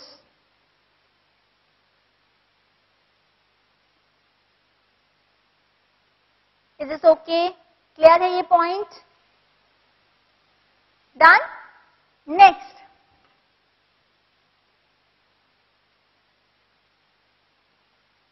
Nominal partner पता है nominal partner क्या होता है Exactly nominal partner is one who lends his name ठीक है ना? Just lends his name अच्छा. That means he does not have a real interest in the business of partnership form ठीक है? तो ये क्या करेगा? क्या करेगा ये? कैपिटल नहीं लगाएगा. प्रॉफिट नहीं शेयर करेगा. पार्टिसिपेट भी नहीं करेगा. ये बात क्लियर है? दैट मीन्स ये तीन पॉइंट्स प्रॉफिट कैपिटल से स्टार्ट करते हैं. कैपिटल प्रॉफिट पार्टिसिपेट तीनों चीज़ें नहीं करेगा ना? Right so he is the partner nominal partner की मैं बात करूँ, he just lend his name to the firm. कोई बहुत नामी पर्सन है ये इन लोगों ने रिक्वेस्ट करी एक्स और वाई ने रिक्वेस्ट करी ये रिलेटिव है मान लीजिए एक्स और वाई के ठीक है? बहुत ही रेपुटेड पर्सन है। तो इन लोगों ने रिक्वेस्ट की सर आप सिर्फ़ नाम के लिए हमारे बिज़नेस में जुड़ जाइए। आपको कुछ भी नहीं करना है बिल्कुल बॉदर नहीं करिए। हम ना आपसे कैपिटल डिमांड करेंगे, ठीक है? ना सर, आपसे शेयर करेंगे प्रॉफिट्स आप तो इतने रेपुटेड है, क्या ज़रूरत है आपको प्रॉफिट्स की? पार्टिसिपेट भी नहीं करना। है वी विल मैनेज एवरीथिंग आप सिर्फ़ नाम के लिए आ जाइए। Just because Y Z business में जुड़ जाते हैं एडवांटेज हो रहा है इन दोनों को। गॉट बाय पॉइंट इसको हम क्या बोलेंगे? नॉमिनल पार्टनर वहाँ पे क्वेश्चन आता है कंफ्यूजिंग लगता है। हम ये याद करके जाते हैं। Nominal partner is one who lends his name but exam में इन्वेस्टर्स कैपिटल याद रहता है। शेयरिंग ऑफ़ प्रॉफिट्स याद नहीं रहता। वहाँ पे ऐसा लगता है कि यार प्रॉफिट तो शेयर करता ही होगा पार्टनर है। तो be very clear nominal partner does not share the profits clear है? यहाँ पे कंफ्यूजन आता है, इसलिए इसको मार्क कर लीजिएगा कि ये प्रॉफिट शेयर नहीं करता। Okay next is partner in profit only may be possible as I told you earlier कि हो सकता है कोई एक पार्टनर से प्रॉफिट शेयर करे और वो लॉसेस ना शेयर करे। इज़ इट पॉसिबल ना? बिल्कुल पॉसिबल है। ऐसा क्यों होता है? जनरली बताइए मुझे। सपोज़ मेरा एक एम्प्लॉय है राइट अच्छा काम कर रहा था। मैंने उससे कमिट किया कि यार, अगर तुम अच्छा काम करोगे, मैं तुमको एज अ पार्टनर ले लूँगा। Now this employ is converting into a partner अब उसका क्या पॉइंट है? सर मैं एम्प्लॉय था। एक फिक्स सैलरी मिलती थी ना मुझे। अभी पार्टनर बन जाऊँगा। बिज़नेस में तो अप्स एंड डाउन चलते रहते हैं। तो हमने उसको क्या बोला? इतना पोटेंशियल लेने की ज़रूरत नहीं है। सिर्फ़ प्रॉफिट शेयर करना लॉस मत शेयर करना, ठीक है? तो पार्टनर इन प्रॉफिट होता है कि नहीं? चलिए next sub partner sub partner समझते हैं? सब पार्टनरशिप दैट मीन्स क्या देखिए? एक्स वाई जेड मिलके तीनों पार्टनर है ना? X Y Z are partners in a firm कौन सी फर्म में? एक्स वाई जेड फर्म में. Okay no what happens is X क्या करता है? एक्स मान लीजिए लेट्स से ये लोग ट्रेडिंग करते हैं। ठीक है? ट्रेडिंग करते हैं लेट्स से फ़ूड आइटम्स की। फ़ूड प्रोडक्ट्स की ये लोग ट्रेडिंग करते हैं। when I say ट्रेडिंग करते हैं, इसका मतलब they people are not manufacturing ये बात तो सबको समझ आती है। ठीक है? ना अभी ट्रेड कर रहे हैं मतलब कहीं से माल परचेज कर रहे हैं और शेयर कर रहे हैं। अभी एक्स के लेट्स से एक्स है मिस्टर पी। एक्स का फ्रेंड है। ठीक है? ये जो मिस्टर पी है ना, ये मैन्युफैक्चर करते हैं। ये क्या कर रहे हैं? ट्रेडिंग कर रहे हैं। और वो क्या करता है? फ़ूड प्रोडक्ट्स की मैन्युफैक्चरिंग करता है। अभी मिस्टर एक्स ना बहुत स्मार्ट है। एक्स ने क्या किया? इन लोगों के साथ पार्टनरशिप की फॉर ट्रेडिंग और पी के साथ पार्टनरशिप की P plus Z I am sorry P plus X P के साथ पार्टनरशिप की फॉर मैन्युफैक्चरिंग ये बात समझ में आई? कोई कंफ्यूजन दैट मीन्स एक पार्टनरशिप के अलावा one of the partner is having partnership with some other तो उसको क्या बोलेंगे? सब पार्टनरशिप कोई कंफ्यूजन यहाँ पे? पढ़ लेते उस पॉइंट को। When partner agrees to share share his of the firm, ठीक है? Profits of when a partner agrees to share his share of profits in the firm with the outsider a outsider is called as sub partner. क्यों share कर रहा है? क्योंकि manufacturing में कम cost पे मिल रहा है ना? इसीलिए पार्टनरशिप की है। अब यहाँ जो प्रॉफिट्स वो डेराइव करेगा, वो किसके साथ शेयर करेगा? पी के साथ। बात समझ में आती है?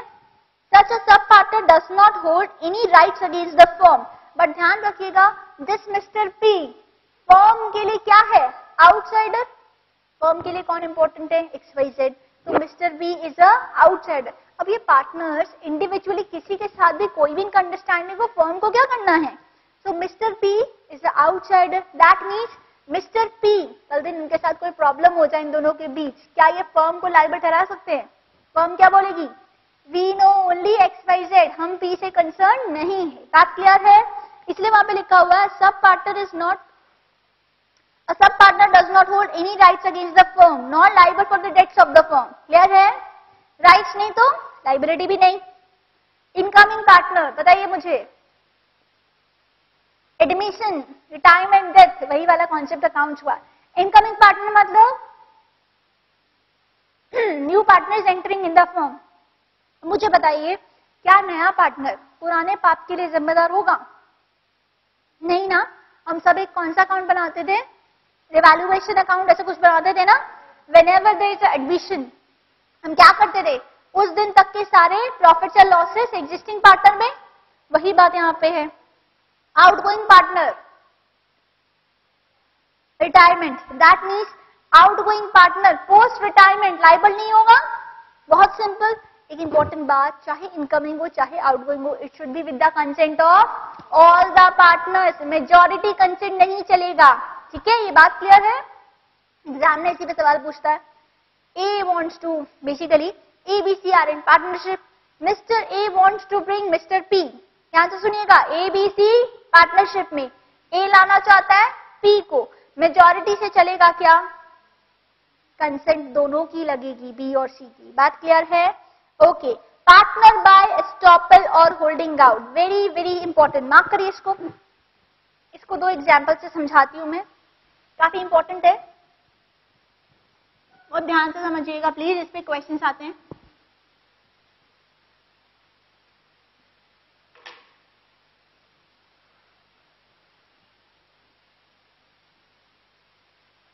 I'll give you two examples, ठीक है?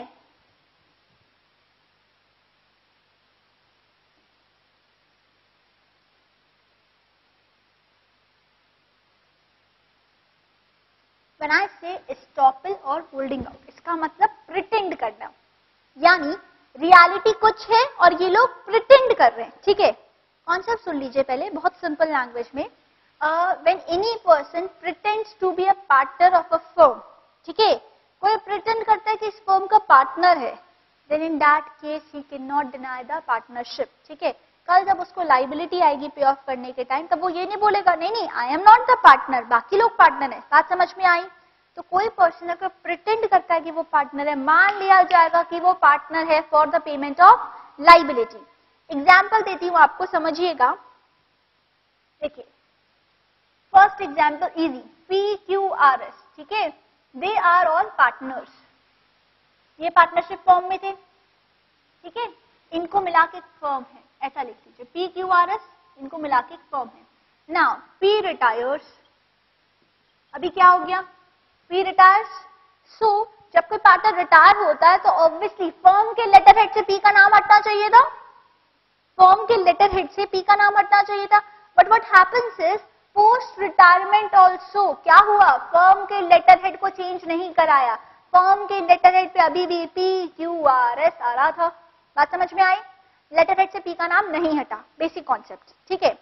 अभी मुझे बताइए, क्या लाइबिलिटी के लिए कोई लाइबिलिटी अगर आती है in that case whether P will be responsible आप बोलोगे मैम हमने तो अभी अभी पढ़ा outgoing partner if a partner retires तो post retirement he will not be liable but concept है पार्टनर बाय स्टॉपर और होल्डिंग आउट सी अगर पी रिटायर हुआ तो उसको पब्लिक नोटिस देना चाहिए, सारा प्रोसीजर करना चाहिए। पी रिटायर हुआ स्टिल वो लेटर हेड पे आ रहा है। फर्म का जो लेटर हेड है, उसमें अभी भी क्या दिख रहा है? पी क्यू आर एस अभी ये आउटसाइडर मिस्टर ए इन्होंने पी पे बिलीव करके पी पे भरोसा करते थे पी पे बिलीव करके अगर फर्म को डिलीवर कर दिया गुड्स सप्लाई किया, मुझे बताइए, क्या लाइबिलिटी सिर्फ़ क्यू आर एस की होगी या पी की भी होगी? क्वेश्चन समझ आया पहले? पी लेटर हेड पे अभी भी आ रहा था। That means P is pretending और एज अ पार्टनर ठीक है? प्रिटेंड कर रहा था कि पार्टनर है। On the letter head at least अभी इन केस में कॉन्सेप्ट ये कहता है if any person is pretending that he is a partner then in that case liability के टाइम डिनाई नहीं कर सकता। अभी पी डिनाई नहीं करेगा। जो भी लाइबिलिटी आएगी P will be equally responsible ये बात क्लियर है? कॉन्सेप्ट समझ आया? अब एक बार ये कॉन्सेप्ट पढ़ते फिर मैं एक और एग्ज़ाम्पल दूँगी, फिर क्लास एंड करेंगे। देखिए when a person who is not really a partner ना यू में से मैम पी तो पार्टनर था। देखो रिटायर हो गया है। So he is not a partner as of now तो when a person who is not a partner but induces other person to believe that he is a partner ना P ने कैसे induce किया दूसरों को भरोसा दिलाना कि हम पार्टनर हैं पी ने कैसे भरोसा दिलाया okay. induces other person to believe that he is a partner and the person so induced, Mr. A, make transaction with the firm. Clear hai? The person inducing will be liable as a partner to the person making transaction. Such partner later on, that means Mr. P, later on, if he denies his being a partner, he will be stopped from doing so. Clear हुआ एकदम ऐसे बिना example को चार बार पढ़ लेंगे समझ नहीं आएगा बात क्लियर है पक्का ओके अभी another example let's say ए और बी पार्टनर्स हैं ठीक है कोई कंफ्यूजन ए और B together are partners okay now A introduce C to D as partner ठीक है? अभी ए ने सी को इंट्रोड्यूस किया किसको? डी को. ठीक है? कैसे? कि ये पार्टनर है. सी रियल में क्या था? रियलिटी में he is a manager but A introduce him as partner कोई कंफ्यूजन ये मीटिंग चल रही है, बढ़िया सी पार्टी चल रही है फर्म की। तो ए ने डी को मिलवाया सी से, ठीक है? कैसे इंट्रोड्यूस किया? ये सी माय पार्टनर ठीक है? ओके नाउ डी अभी डी ने क्या किया? सी पे बिलीव करके फर्म को सप्लाई कर दिया गुड्स, ठीक है? डी ने क्या किया?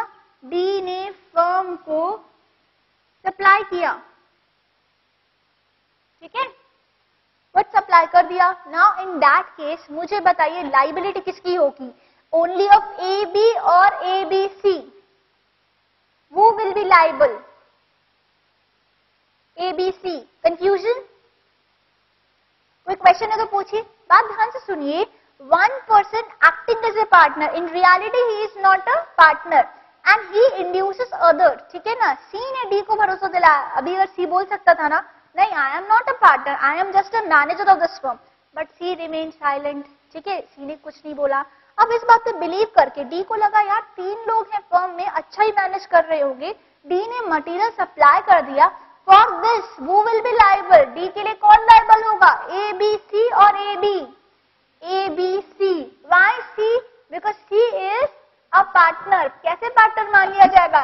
पार्टनर बाय होल्डिंग आउट हाँ समझ में आई? बैनर लगा लेना कि हम पार्टनर है। रियलिटी में नहीं है, कोई बात नहीं। बट स्टिल जब लाइबिलिटी आएगी तो फिर दिया जाएगा। अच्छा एक क्वेश्चन आता है। क्या इस केस में प्रॉफिट हुआ तो क्या सी से शेयर करेंगे? नहीं. Only for the liability right तो इस केसेस में आप ध्यान ध्यान से रखिए क्या ध्यान रखना है? यानी चीटिंग जब भी आपको दिमाग में ऐसा होगा, कोई भी चीटिंग वाला केस आता है, जब एक पर्सन दूसरे पर्सन को बिलीव दिला रहा I am the partner later on you are responsible for liability profit कुछ नहीं मिलेंगे, ठीक है जी? Because in reality you are not a partner but for that particular liability अच्छा मान लीजिए, इस केस को थोड़ा और ध्यान से सुनिए, और कॉम्प्लिकेट करते हैं।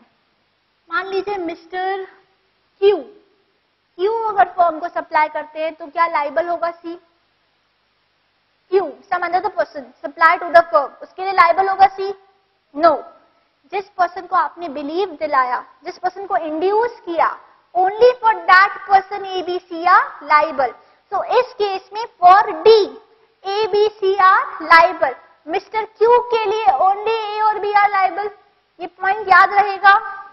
पक्का? Very important quite heavy as well ठीक है जी? कोई कंफ्यूजन आज के लेक्चर में? पक्का?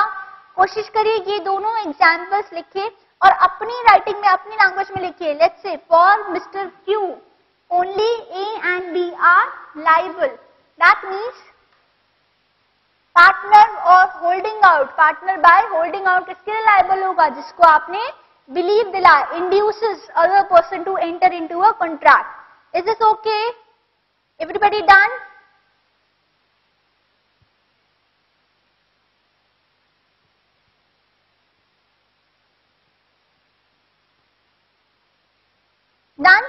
चलिए that's it for the day thank you tomorrow lecture में हम स्टार्ट करेंगे विद द माइनर आज के चैप्टर का हमारा सिर्फ़ माइनर वाला पोर्शन बाकी है. सो माइनर कंप्लीट करेंगे. Take a pencil with you tomorrow will do the MCQ as well that's it for the day thank you hope you enjoyed the session